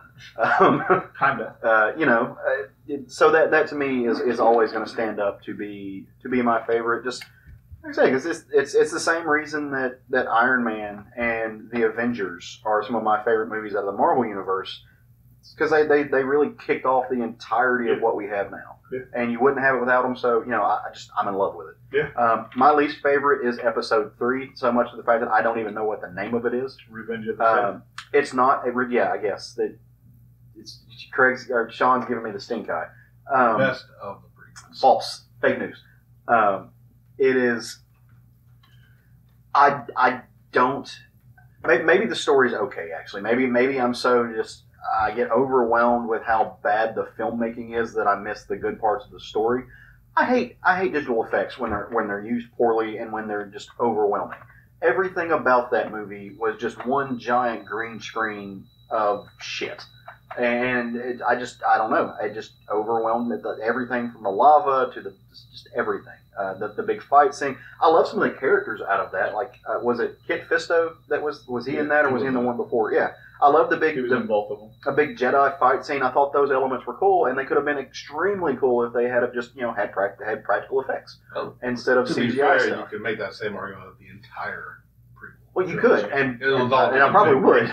Um, but I, I just, even to the very end of it, where Darth Vader walks out, just like no, yeah, like it just it, everything about that film put a bad taste in my mouth. Like I just, I, I went back and watched episode one, and then I would go back and watch episode four, and just uh, yeah, I, you know, cliff notes what happened in episode three because just don't like it. I, it's it just it does not hold even even now. Like you watch you watch Star Wars now, and yes, they've been digitally remastered and stuff. The old the older films, they they relatively hold up. The, the stories hold up fairly well. They're dated, but they, they still hold up. I go back and watch episode three right now. It, 10 year 10 15 years later it doesn't hold up it's just it doesn't so that's Okay, fine I strongly disagree. that's fine you I, He's about to tell you why. I submit to when it comes to Star Wars I will No, always I mean- submit to your wisdom Again, I will never argue quality with somebody or if the movie just didn't speak to them or whatever. Okay, that's that is somebody's. That's a taste. That's a, a personal preference and what you want to see in a movie. So, my my favorite movie, obviously, is Empire, and then A New Hope's the easy answer for me. Yeah. because it opened for all the reasons you said. A New Hope also has some very long, boring parts in it. There are some very drawn out segments in it. Mhm. And so my my favorite next favorite movie is actually a little bit of a surprise probably. But because of what the Jerry and Caleb both said, it's actually Revenge of the Sith. And it's probably because you haven't watched the Clone Wars cartoons. Possibly. Um, you actually see Anakin as a hero in the Clone Wars cartoons. Without that, it changes the prequels. When you have that, it makes the prequels a whole lot better because you actually feel for Anakin when he's falling and you don't just see him as a spoiled brat that's not getting his way.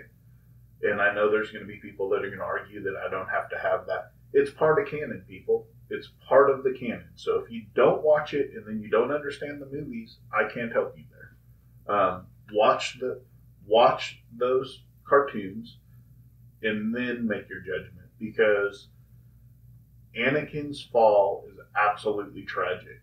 And the lightsaber battle between him and Obi Wan is the best lightsaber battle in the entire series to this point. It absolutely, technically speaking, it's the best one. It's the one with the most emotion behind it, with the exception of Vader versus Luke in Empire Strike or uh, Return of the Jedi. I, I was gonna say um, the uh, Last Jedi with uh, When they're fighting in there, Rey and Ren. It's a stylistically better fight. Yeah. Yeah. But like what Craig's saying, though, the emotional story behind it, I would definitely argue, yeah, Mhm. three had a better one. But stylistically, and I think I mentioned it on a previous episode, like uh, the Last Jedi gave me the lightsaber style fight I've been wanting to see as far as the variety of weapons versus Right. like even though they were electro blades or vibro Right. blades and whatnot, eh, that's what I want to see. Sorry, continue. No, no, you're absolutely correct. And my, you know, I, the emotion behind the both of the fights in the last movie of each of the first two trilogies is amazing. And you can feel Luke's fighting his emotions versus Vader, and you can feel Anakin's hatred towards Obi Wan in Revenge of the Sith, and Obi Wan the Ewan McGregor portrays it so well the anguish he's going through having to fight his Padawan and his best friend and this kid he's known since he was six years old and he was barely a teenager himself. It, or just barely out of being a teenager himself. And training this kid like he was his father and um, you know and all of that emotion behind that. Yeah there's flaws with that film. But the reality is there's flaws with every star wars film. I love them, but I'm not so stupid to think they're Citizen Kane or that they're the Godfather movies. They are they are what they are. They're space fantasy. They changed my life in, in ways, um, influenced my life in a lot of ways. But they're they're space fantasy movies. You know, they're they're not overly spectacular as far as necessarily quality of movie Right. if that makes sense. Um, I don't expect great acting when I go to a Star Wars movie.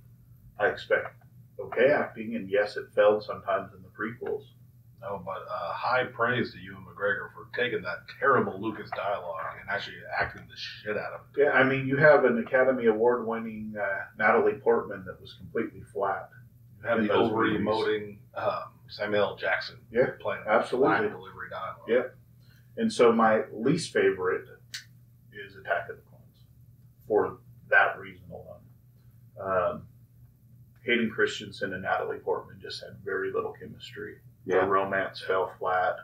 Um, the to me, if you had taken about half of Attack of the Clones and mixed it with the Phantom Menace and made that your first movie, and then had the second movie that is uh, would have been them fighting Clone Wars and actually showing Anakin as a hero through those movies, it would have really helped the prequels out, in my opinion.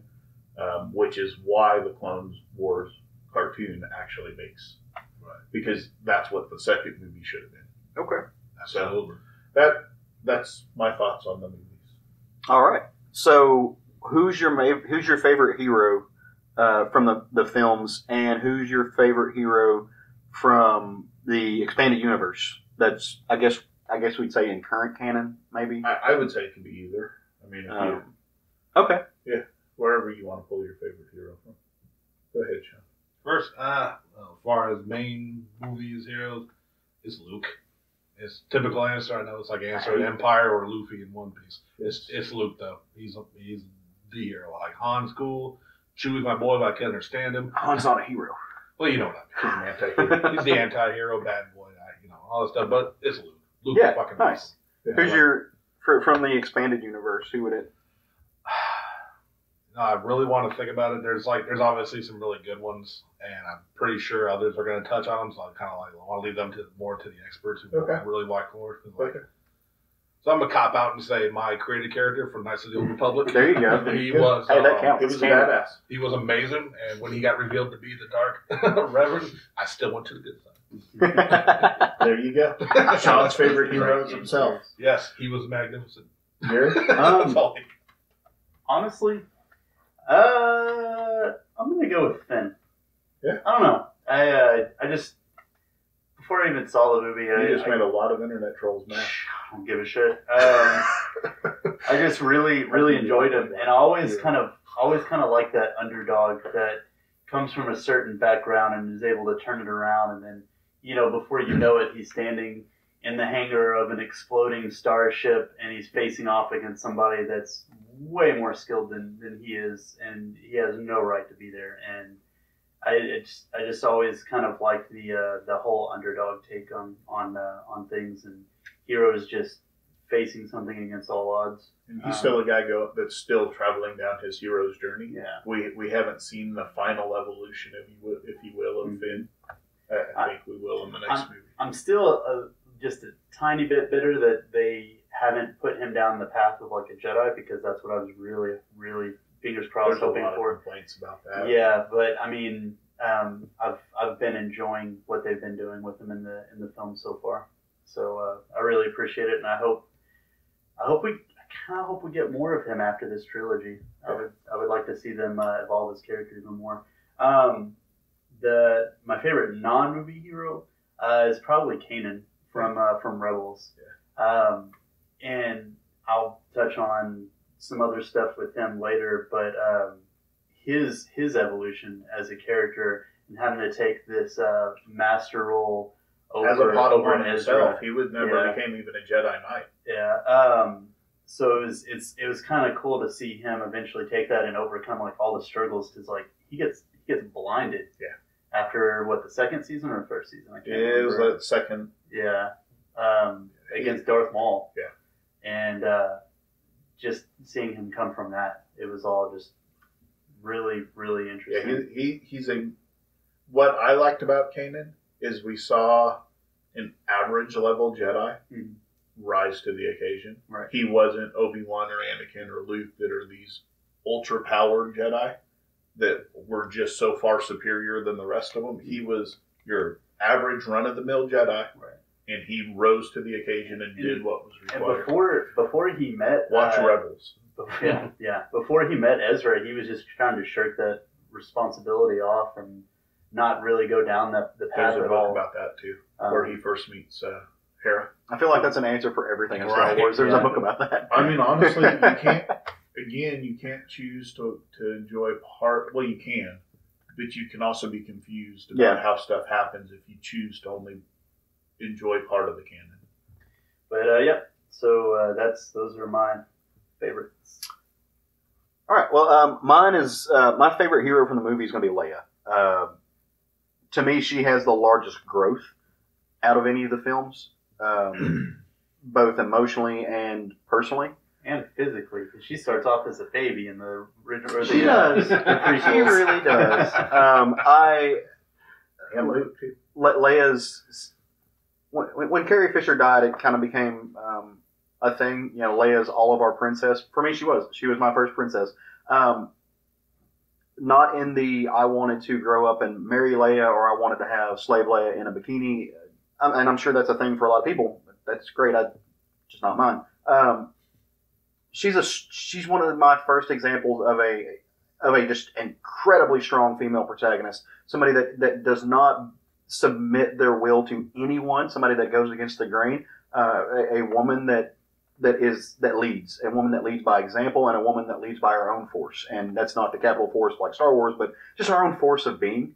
and you see that throughout the entirety of the original films, all the way up into the new ones. When you get the, the those moments of her character as as a general, uh, making some really hard decisions, making some decisions people don't agree with, but but not looking back, not second guessing herself, um, just continually marching onward and and doing the right thing, even in in the in the original films when she wasn't, you know, her she wasn't a skilled fighter. She was a diplomat. Um, you know, she picks up a blaster and leads a charge. When you've got a person who's training to be a Jedi and also a space pirate behind her, she's leading the charge there. She's the one that's forcing this. Uh, you know, you get those scenes where they're in the dumpster and she's just she's not giving up. She's just this this force, this this incredible tour de force of personhood that just solidified her as as kind of a both that character um, and the actress herself, and the fact that she never, you know, she very openly spoke out about her mental illnesses, and um, You were all on and off the screen. yeah, she, she really was. Um, and I've got a lot of respect for Carrie Fisher. I've got a lot. I've got the utmost respect for, for Princess Leia, um, for General Leia, for for that character. She's she's my favorite one, hands down. Also, she rocked buns, so that's a thing. And you could also say she had the most personal growth from the original trilogy, even up through the sequel trilogy. She. Just looking at the original trilogy, her character from Star Wars to Return of the Jedi, Luke had a lot of growth there as well, Han as well. But when you look at Leia, she went from being the bossy, you're going to follow me because I'm in charge, to actually allowing Han to be in charge Yeah. during the raid on on uh, Endor, and uh, allowing actually step back and was just one of his commanders. And to me, that shows a, a lot of personal growth as somebody who was one of the leaders of the rebellion to step back Well, and do that. and I like the way that character is written as well. A lot of times when you get these action films or these these sci-fi films, there is a a woman in there, and she's largely just there to be a love interest. And so they, but they didn't do that with her. She is a love interest, but she's so much more. Um, my favorite non-continuity hero. I'm not current with the, this current stuff. I, I don't read the books anymore. It's just not my. I, I love Star Wars for what it is, but I don't. I'm not immersed in it in the way that, that Craig is.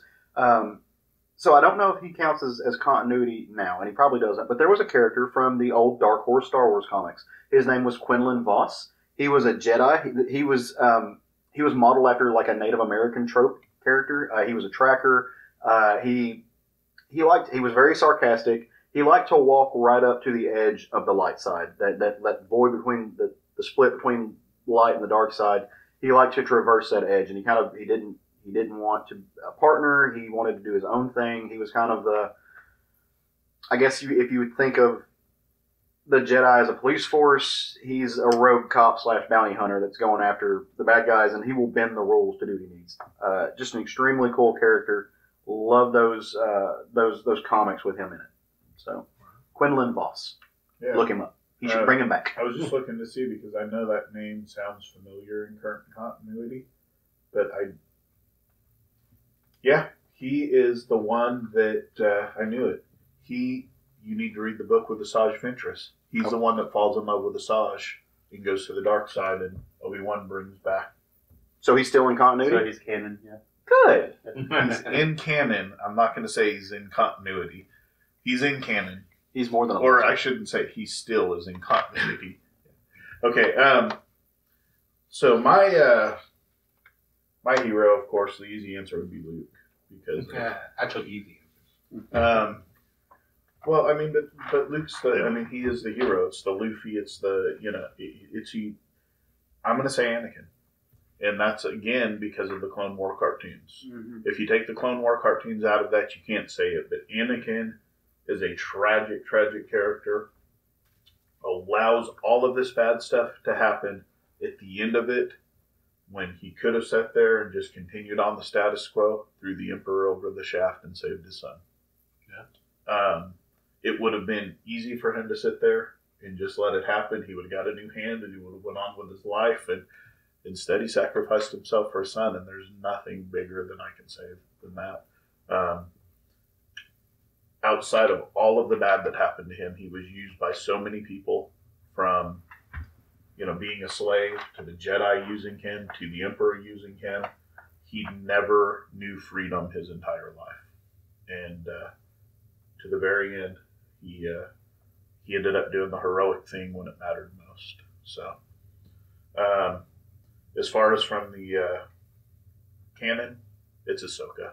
I knew you were going to say it. That's Uh, why I knew it. I, I, I could have said her, but I, I, I yeah, I, if you haven't watched the Clone Wars again, I'm just going to say you have to watch the Clone Wars. There are some childish episodes, but then watch Rebels Mhm. because the ending of season two in Rebels, if you don't watch that and get chills at the end of that, and the e- end of season four, the final season, if you don't watch those last few episodes and get chills as a Star Wars fan, then you're not really following Star Wars because um, I'm not saying if you never watch them, that's fine. But if you watch them, those two episodes, they are everything that Star Wars is, and they're both um, have Ahsoka in them. But um, you know, the thing about Ahsoka is she stepped away from the Jedi. She saw what the problems were with the Jedi and said, "I'm not doing this anymore. I'm leaving." Because of that, somehow she escaped the Jedi purge, and I have to believe that when Luke says that he can still sense good in in Anakin. Anakin never pursued Ahsoka. He let her go. He knew she was still out there. He never hunted for her down. Now, of course, in Rebels, maybe he thinks she's dead, maybe not. But Anakin's pretty strong in the, in the Force. Um, I, I believe that Anakin let her go. I believe he let her live in that temple. I believe he let her go. Um, and uh, it'd be really great to see a Ahsoka movie that takes place Yeah, because she survives through Return of the Jedi. So Nice. Yeah. Uh, so, kind of our last thing about wrapping up this this weird wide world of Star Wars. Um, who's uh, Darth Vader's your favorite villain? I- Like that's just that's that's the answer to that question. But outside of Darth Vader, who's your favorite villain? Um, and that's something that we were all sitting around talking about, trying to figure out. Um, I'll kick it off. Mine is Aurra Sing. Aurra Sing is a bounty hunter. Uh, you get a blip of her in episode one at the pod races. She's just kind of s- standing up there. And this is a really cool thing about how creators have taken these little moments in the films and just blown this universe wide open. Because she's only in there for, I think, literally like 1.3 seconds as a, something goes by. Uh, you get into the putters. yeah, she, and she's just a cool character. Uh, and so they took her and they brought her to the, the books, they brought her to the comics. And Aurra Sing is a bounty hunter. Um, she's got some technology that she's had implanted into her to help it. She hunts Jedi. Like she's she's not a good person. She hunts down Jedi and murders them, and she collects their lightsabers, and she can use them. She can use them. I mean, she's not a dark. She's not a Sith. Um, she, she just uses them as the same way you would do a, a, a sword. Uh, but you know, she's just kind of famous, and, and the Jedi are functionally scared of her. They are absolutely terrified of Aurra Sing because for a long time no one could stop her. And if she wanted you, she got you. And she was kind of this like monster under the bed. And yeah, she'd go to these planets, she'd, she'd find her guy, and she'd hunt him down. She, it was kind of like what it was like if, if the Grey, that movie The Grey, was put into Star Wars. She's the wolf, and, and she she take these lightsabers, stick them into a briefcase, and carry them with her. Uh, and just a really really cool story. Her and Bossk uh, finished training Boba Fett, made him the bounty hunter he became. That's right. Yeah, Watch Clone Wars. Watch Clone Wars. series. I haven't seen it, so I didn't know that. But Uh, yeah. coming, coming off of that, uh, Darth Maul, because it sh- totally has his rise uh, coming back after um, a uh, I forgot the name of the episode one. Episode one, Phantom Menace. uh, Phantom Menace. Uh, yeah, they uh, halfway through the season they bring Maul back, and he's like his mind is basically in tatters, and he's crazy. He's got spider legs, and um, from that point to the end of uh, what they showed on TV was just him conquering and becoming a total badass. Yeah. And I mean, even through Rebels, uh, Yeah. just amazing. Just a really badass, amazing character, and they just really didn't give him anything uh, of that in the in episode one. So I I thought he was pretty pretty awesome. Spoilers, his, his ending. Is a little bit. Uh, Anticlimactic. it's perfect, though, Yeah, honestly. That's what I've heard. Yeah. So, Uh, mine is going back to the original trilogy. It's actually Jabba the Hutt. Yeah. Uh, from episode one, you get the name from Greedo, and it's a lingering thing in the background that they don't re- necessarily address because obviously you're dealing with the Empire. But through each movie, he's brought back up. And then, of course, as I went on and on about Return of the Jedi, you get full blown Jabba. So outside of Vader, I loved the threat he had in that background the entire trilogy. He was a mob boss. Exactly. I mean, it'd be great to see. I kind of hope that they do it in solo, not knowing a little bit, but I hope Jabba's in it. I Yeah, hope that they're has to be doing something. some work for Jabba in it. I hope that that's kind of the. Right. Um, you know, Maul to me has the coolest look out of any of the Star Wars Mm-hmm. villains. Um, he, he just portrayed. I mean, he just was evil personified to me. But outside of that, uh, Palpatine. Yeah. Uh, Palpatine's the master manipulator. He was truly the Phantom Menace. No one knew that the. I mean, the Jedi were working with him side by side, and he was able to manipulate them, and he manipulated Anakin, and and uh, rose to power right in the middle of arguably some of the greatest Jedi to ever live. You know, and he just again, Luke's not wrong in the Last Jedi. They allowed the most evil Sith ever to take power while they were in control. Mhm. You know, they they allowed him to do it legally through. Yeah, He is the Senate. yeah. I mean, Yeah, he, he absolutely. he became the Senate, so that's who- my favorite. Nice. Well, like I I think everyone listening to this and everyone who knows us can, and anyone immersed in geek culture even a little bit, uh, you you can you can see the the impact that Star Wars has had on not even geek culture, just kind of the world. Uh, everyone knows Star Wars. My my dad, who lives in rural Arkansas, who doesn't read anything but the Bible, uh, he knows uh, who Darth Vader is. He knows who Luke Skywalker is. So it's just had this massive impact on the on the culture and community. Yeah. But I thought I'd give Craig mostly a moment to kind of wax poetic about the impact that it's had and what it means to him because he is the Star Wars guy. That I mean, Well, he just is. I can't talk enough about the influence it had on my life and, and who, who I became because of Star Wars. It sounds silly. With I wanted to be Luke Skywalker. I wanted to be good because I wanted to be Luke Skywalker. You know that that's just that was the forming ages of my personality during that time. And as far as the influence on culture, I mean, from toys to movies to video games to I can doing research for this, I looked. There are over 200 movies that either reference Star Wars or direct result of Star Wars. Like Aliens, Ridley Scott said he would have never made it if Star Wars not been made. Um, 200 movies out there. Think about that, guys. That's, yeah, I mean, that's a huge influence this has on culture, not just geek culture, but culture in general. Yeah, and Kevin Smith only made fifty of them. So, yeah, right? Um, you know, just every aspect of geek culture, comic books, books, video games, toys. I mean, the action figures we that have come out since Star Wars are all a direct result of how popular Star Wars action figures were. So, you know, would we have Transformers? Yeah, we still had Transformers. Would we have He Man? Maybe not Yeah, you know, that there certainly the GI Joe line probably would have never been relaunched. There, you can't really speak about today's geek culture without Star Wars being a part of it at some level, very cool. in my opinion.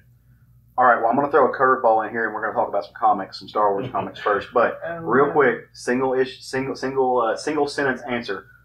Can't talk about Star Wars unless you talk about some spaceships. What's your favorite? Uh, what's your favorite starship, Gary? Favorite starship? Oh, you Yeah. kind of threw a curveball. Anything- Yeah, anything. I told you it was a curveball. I know yours. I, I, uh, A-wing. Anyway, Yeah, my favorite starfighter. very cool. Sean, Craig, Sean, Sean has Sean, passed. Sean's favorite is the Starwind pleasure yacht. It's- Uh, actually, it's uh, my favorite starship is the Wookiee Poodoo. again from your again Yeah, from your, I'll, I'll your say game, it. right? Yeah, uh, well, you know, from our yeah Jerry's game. Um, yeah, I'll, I'll put on. You said spaceship though. Hey, a- a- anything from like a one man fighter to the big the, the Death Star. I'm a, Jabba's barge and all those little Yeah. like ships over the Yeah. Sarlacc pit. They were very cool design. Yeah, they absolutely. Yeah. like space yachts. Sweet. It's pretty sweet. The Millennium Falcon. I mean, Too easy. uh, it honestly is. Why'd you say it- slave one next? Sorry. it- it- I couldn't read Because the word I that popped in my head argue first. that view. um, I mean, those are the easy answers. Um, the true answers. yeah. Mine's the B wing. If I was in that world, I'd stick a warp drive and a B wing, and that'd be me. So, all right. So this is normally the the section we would ha- normally we would have a smaller section where we talk about something like Star Wars, something like that. But obviously that that wasn't going to happen, not especially with with Craig being the the Star Wars mastermind that he is. But Star Wars has a huge presence in comics right now. Star Wars comics are being uh, published by Marvel. Uh, and there's a lot of good stuff coming out. So we're going to skip our smothered, covered, and comic, where we talk about this week's new comics, and just very briefly throw out a few of those books that are coming out every week that that may be collected, maybe coming out in single issue, but some stuff that's that's at your shop right now. You should go buy. Um, my favorite is it's already finished it's a two trade paperback uh, series and it's coming off of Rebels and it's the Kanan uh, series that they did. Which again, watch it; it's really great. But it uh, it basically tells Kanan's backstory after Order sixty six happens. So he's Tragic. yeah, he's with his master. The order happens. There's stormtroopers that they're with, attacks them. She protects him, essentially dies, and he has to survive on his own. You know, knowing what little knowledge he knows of the Force and, and all He of his still a training that he teenager at that time, Yeah. or a young kid. And it, it just kind of has has him growing up and dealing with being a uh, a Padawan and trying to conceal that fact, and um, just him eventually getting to become the person that he is and meeting uh, Hera, right? Yeah. Yeah. Um, but yeah, I highly recommend reading the uh, the Kanan comic book series. Check it out. Uh, mine is actually the one I've always wanted to read. It's read about it in Wizard magazine decades ago. Uh, is Dark Empire. Uh, quick bullet points is that it, Luke basically finds out the Emperor is somehow back. Goes in. Cloned. This is where they reveal the whole thing about him using clones to uh, keep on living. Luke infiltrates it, agreeing to work with him. Actually gets turned a little bit, I believe, and I believe this also featured the twins, Han Leia's twins, and uh, it just sounded always sound and uh, of course Jabba's kids got a bounty on all these motherfuckers going on in the background as well. Always sounded like an interesting book I wanted to read. Yeah, Luke uh, goes to the dark side, but it's a planned turn, so it's not really a turn type thing. I thought he like I thought that was the intent he kind of I don't know. Yeah. It's something I always wanted to read. I always heard good things about it. Mine is uh, Doctor Aphra. Um, it's written by uh, Kieran Gillen and uh, art by Kev Walker. Um, it takes place between A New Hope and Empire. It's a current comic book that's out right now. Doc Aphra is a uh, female character that is like an archaeologist type character that in the first Darth Vader Marvel series in the relaunch, uh, she ended up getting like where she was having to do work for Darth Vader and uh, was being manipulated by him. And then she has these droids that are assassins droids that are like two of it's C three PO and And R two R2D2, but they're like evil versions. um, yeah, like C the C three PO character, he just wants to kill every human. Um, flashbacks. yeah, he so just and they're kind of controlling her now. It's really interesting. Uh, it's been a really good, fun ride through seeing Star Wars from a outside characters, non-main characters uh, viewpoint. Yeah, nice. Um, well, mine is actually a series that came out. I want to say it wrapped up last year, uh, but it's called uh, Vader Down. It's, Star Wars Vader Down. This was a series. It was originally written by Jason Aaron, and then it was drawn by Mike Deodato Jr., and then Kieran Gillen, the same guy who's writing Doctor Aphra, took it over the writing duties, and it's drawn by Salvador Larroca uh, to finish it up. And so what this is is there's that moment. Uh, it's a six issue run. It began and continues into the Star Wars and the Star Wars Darth Vader comic.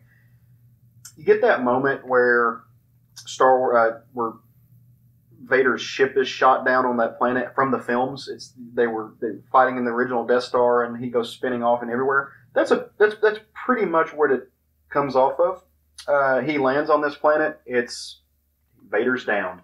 Uh, he has to survive. He has to figure out how to get off the planet uh, and get back to his position of power. It's really, really well written. It's really, really exciting. Even as somebody who I don't regularly read the Star Wars books every month, uh, I picked up those trades and just fun stuff.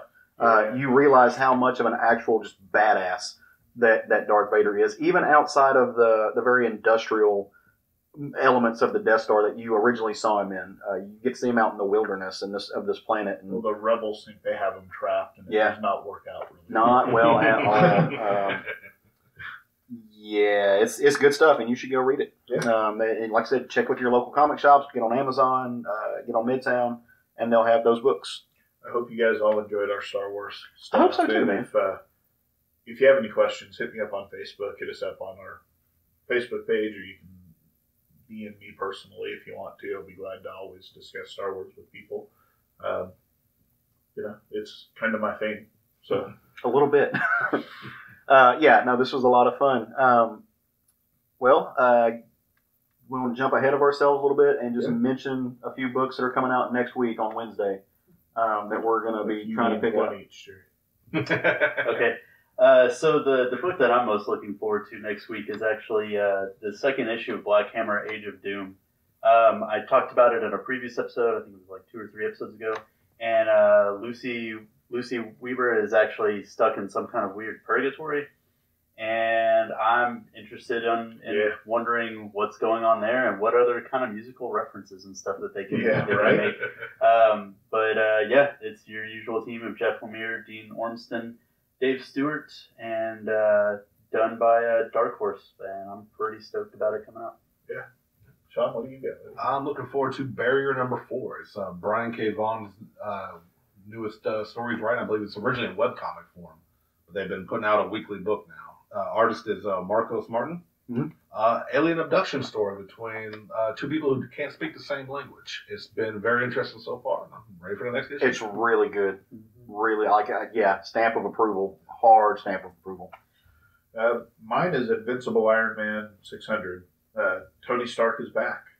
Uh, we're finally getting Tony Stark back, and I'm assuming he's going to end up in costume by the end of it. But it's uh, Bendis' last book in Marvel.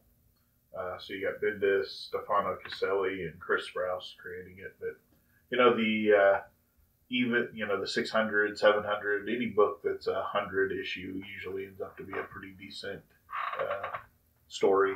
Uh, it's always worth collecting. Yeah, it's kind of a So- landmark thing.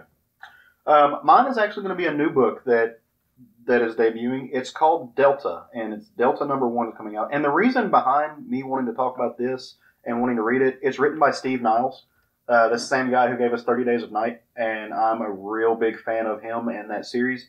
Uh, in this story, a mysterious unknown asteroid uh, looms over a spaceship and a small crew of blue collar workers discover a terrifying threat unlike anything they've ever seen. It's a space horror story. Uh, it's Steve Niles writing something in the dark coming to get you. It's a lot like it gets a little bit of an alien vibe. I'm here for this. Yeah. Like I'm, I'm down. Give give me that. I, I'm gonna check it out. Um, Steve Niles, you can't like I said, it's Steve Niles. Yep. Um, Thirty Days of Night's one of my favorite vampire books. So, well, uh, are, we want to bring this thing home and Yeah. we'll kind of wrap it up. All right. Well, dear listeners, we thank you all for joining us again. We know that your time is valuable, and we appreciate the fact that you decided to give some of it to us. As always, if you like what you heard, and we certainly hope you have, go on iTunes, and if that's how you consume our podcast, and rate and review us. We really appreciate it. It lets us know how we're doing. It lets other people know that we deliver a certain kind of quality, and it also works with iTunes algorithms, and they help boost us a little bit, which is really cool. We don't get paid for doing this, but you know, we'd like to maybe do something cool with it one day. Getting more listeners is going to help that and we want to just make really we just want to make sure we're doing something awesome for you for, for us and for you guys both uh, we have a very big social media presence we're on facebook where we're all the time sharing articles connecting with you guys posting pictures of what we're reading posting places that we go just kind of building a community which is which is what we want uh, we also have uh, instagram and face uh, instagram and twitter uh, at sfg podcast where we're posting pictures of what we read we post our favorite panels of the week us doing silly things throughout our lives and just kind of nerd related stuff. Uh, it, it's a lot of fun, guys. Connect with us. We want to know who's listening. We want to know what you're into. So connect with us that way. It's, it's what we want to do. We're trying to build a community of friends, people who like the positive things about geek culture instead of, you know, if you don't like delving into the kind of what Craig talked about earlier, the the comment sections of just Twitter trash and all that stuff, come hang out with us. We'll talk to you. We, we'd love to. We'd love to connect. Um, get to your local comic shops get out there and see Star Wars, a so, or solo a Star, Star Wars story. Let us know what you think about it. Go see Deadpool. Um, and if nothing else, guys, go forth and love some comics.